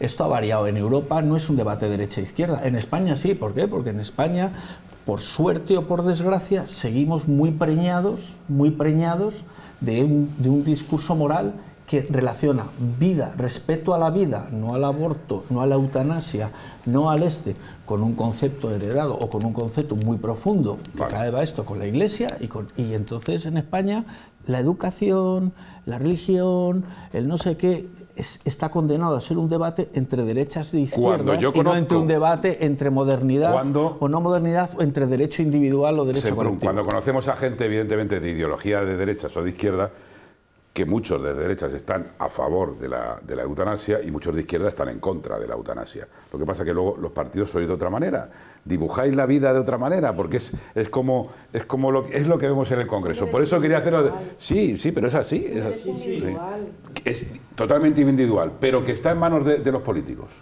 ¿Es así? Por eso que está en manos de los políticos. Bueno, señores, eh, vamos a irnos con una imagen bonita de noche, vamos a mirar hacia Toledo esta ciudad magnífica en la que estamos. Y quería poner esta, quería que nuestro compañero mirar qué fotografía más bonita. Es una fotografía de, un profesional de la fotografía, de un fotógrafo llamado Ricardo Martínez, que ha sido elegida como una de las mejores imágenes de 2019 por la prestigiosa publicación Photofields. Se trata de, de una instantánea de la superluna justo encima de la torre principal de la Catedral Primada de Toledo. Así que ahí, ahí dejamos esa imagen para terminar eh, de noche, que te la vamos a enviar. Ahora mismo Richie, nuestro realizador, se la va a enviar a Guadalupe Martín, a la que agradezco muchísimo que haya estado con nosotros. Muchas Buenas noches y gracias por el debate y por tus palabras. Javier Semprún, muchísimas gracias por estar con nosotros. Buenas noches, gracias a vosotros. se ha emocionado y todo, ¿eh? Un poquito. Un poquito, ¿eh? Lo siento. Esto es, esto es la televisión, emoción. Luis Meroño, muchísimas gracias por haber estado con nosotros. Y señor Gascón, venga. Eh, va a seguir usted luchando por el movimiento vecinal, me han dicho, ¿no? Sí, sí. Estamos buscando ahora para los, jubilados, para los pensionistas. Para los, jubilados. Un local, ¿no? Sí, sí. Un local. En, el barrio de Buenavista para pues que mira, aquí está una viceconsejera. Ya, no, no, ya, ya, cuando tenga que ir a verla. Cuando tenga que ir a verla a primera estación. Será bienvenido, Bueno, eh, que haremos ese debate también con los jubilados un día aquí, eh, que me gustaría es muy importante. que estuvieran aquí. El debate sobre ese asunto del que hemos hablado va a continuar, a favor y en contra, como aquí en el Braserillo, que volverá a abordar asuntos de interés dentro de siete días. Hasta entonces, que sean felices.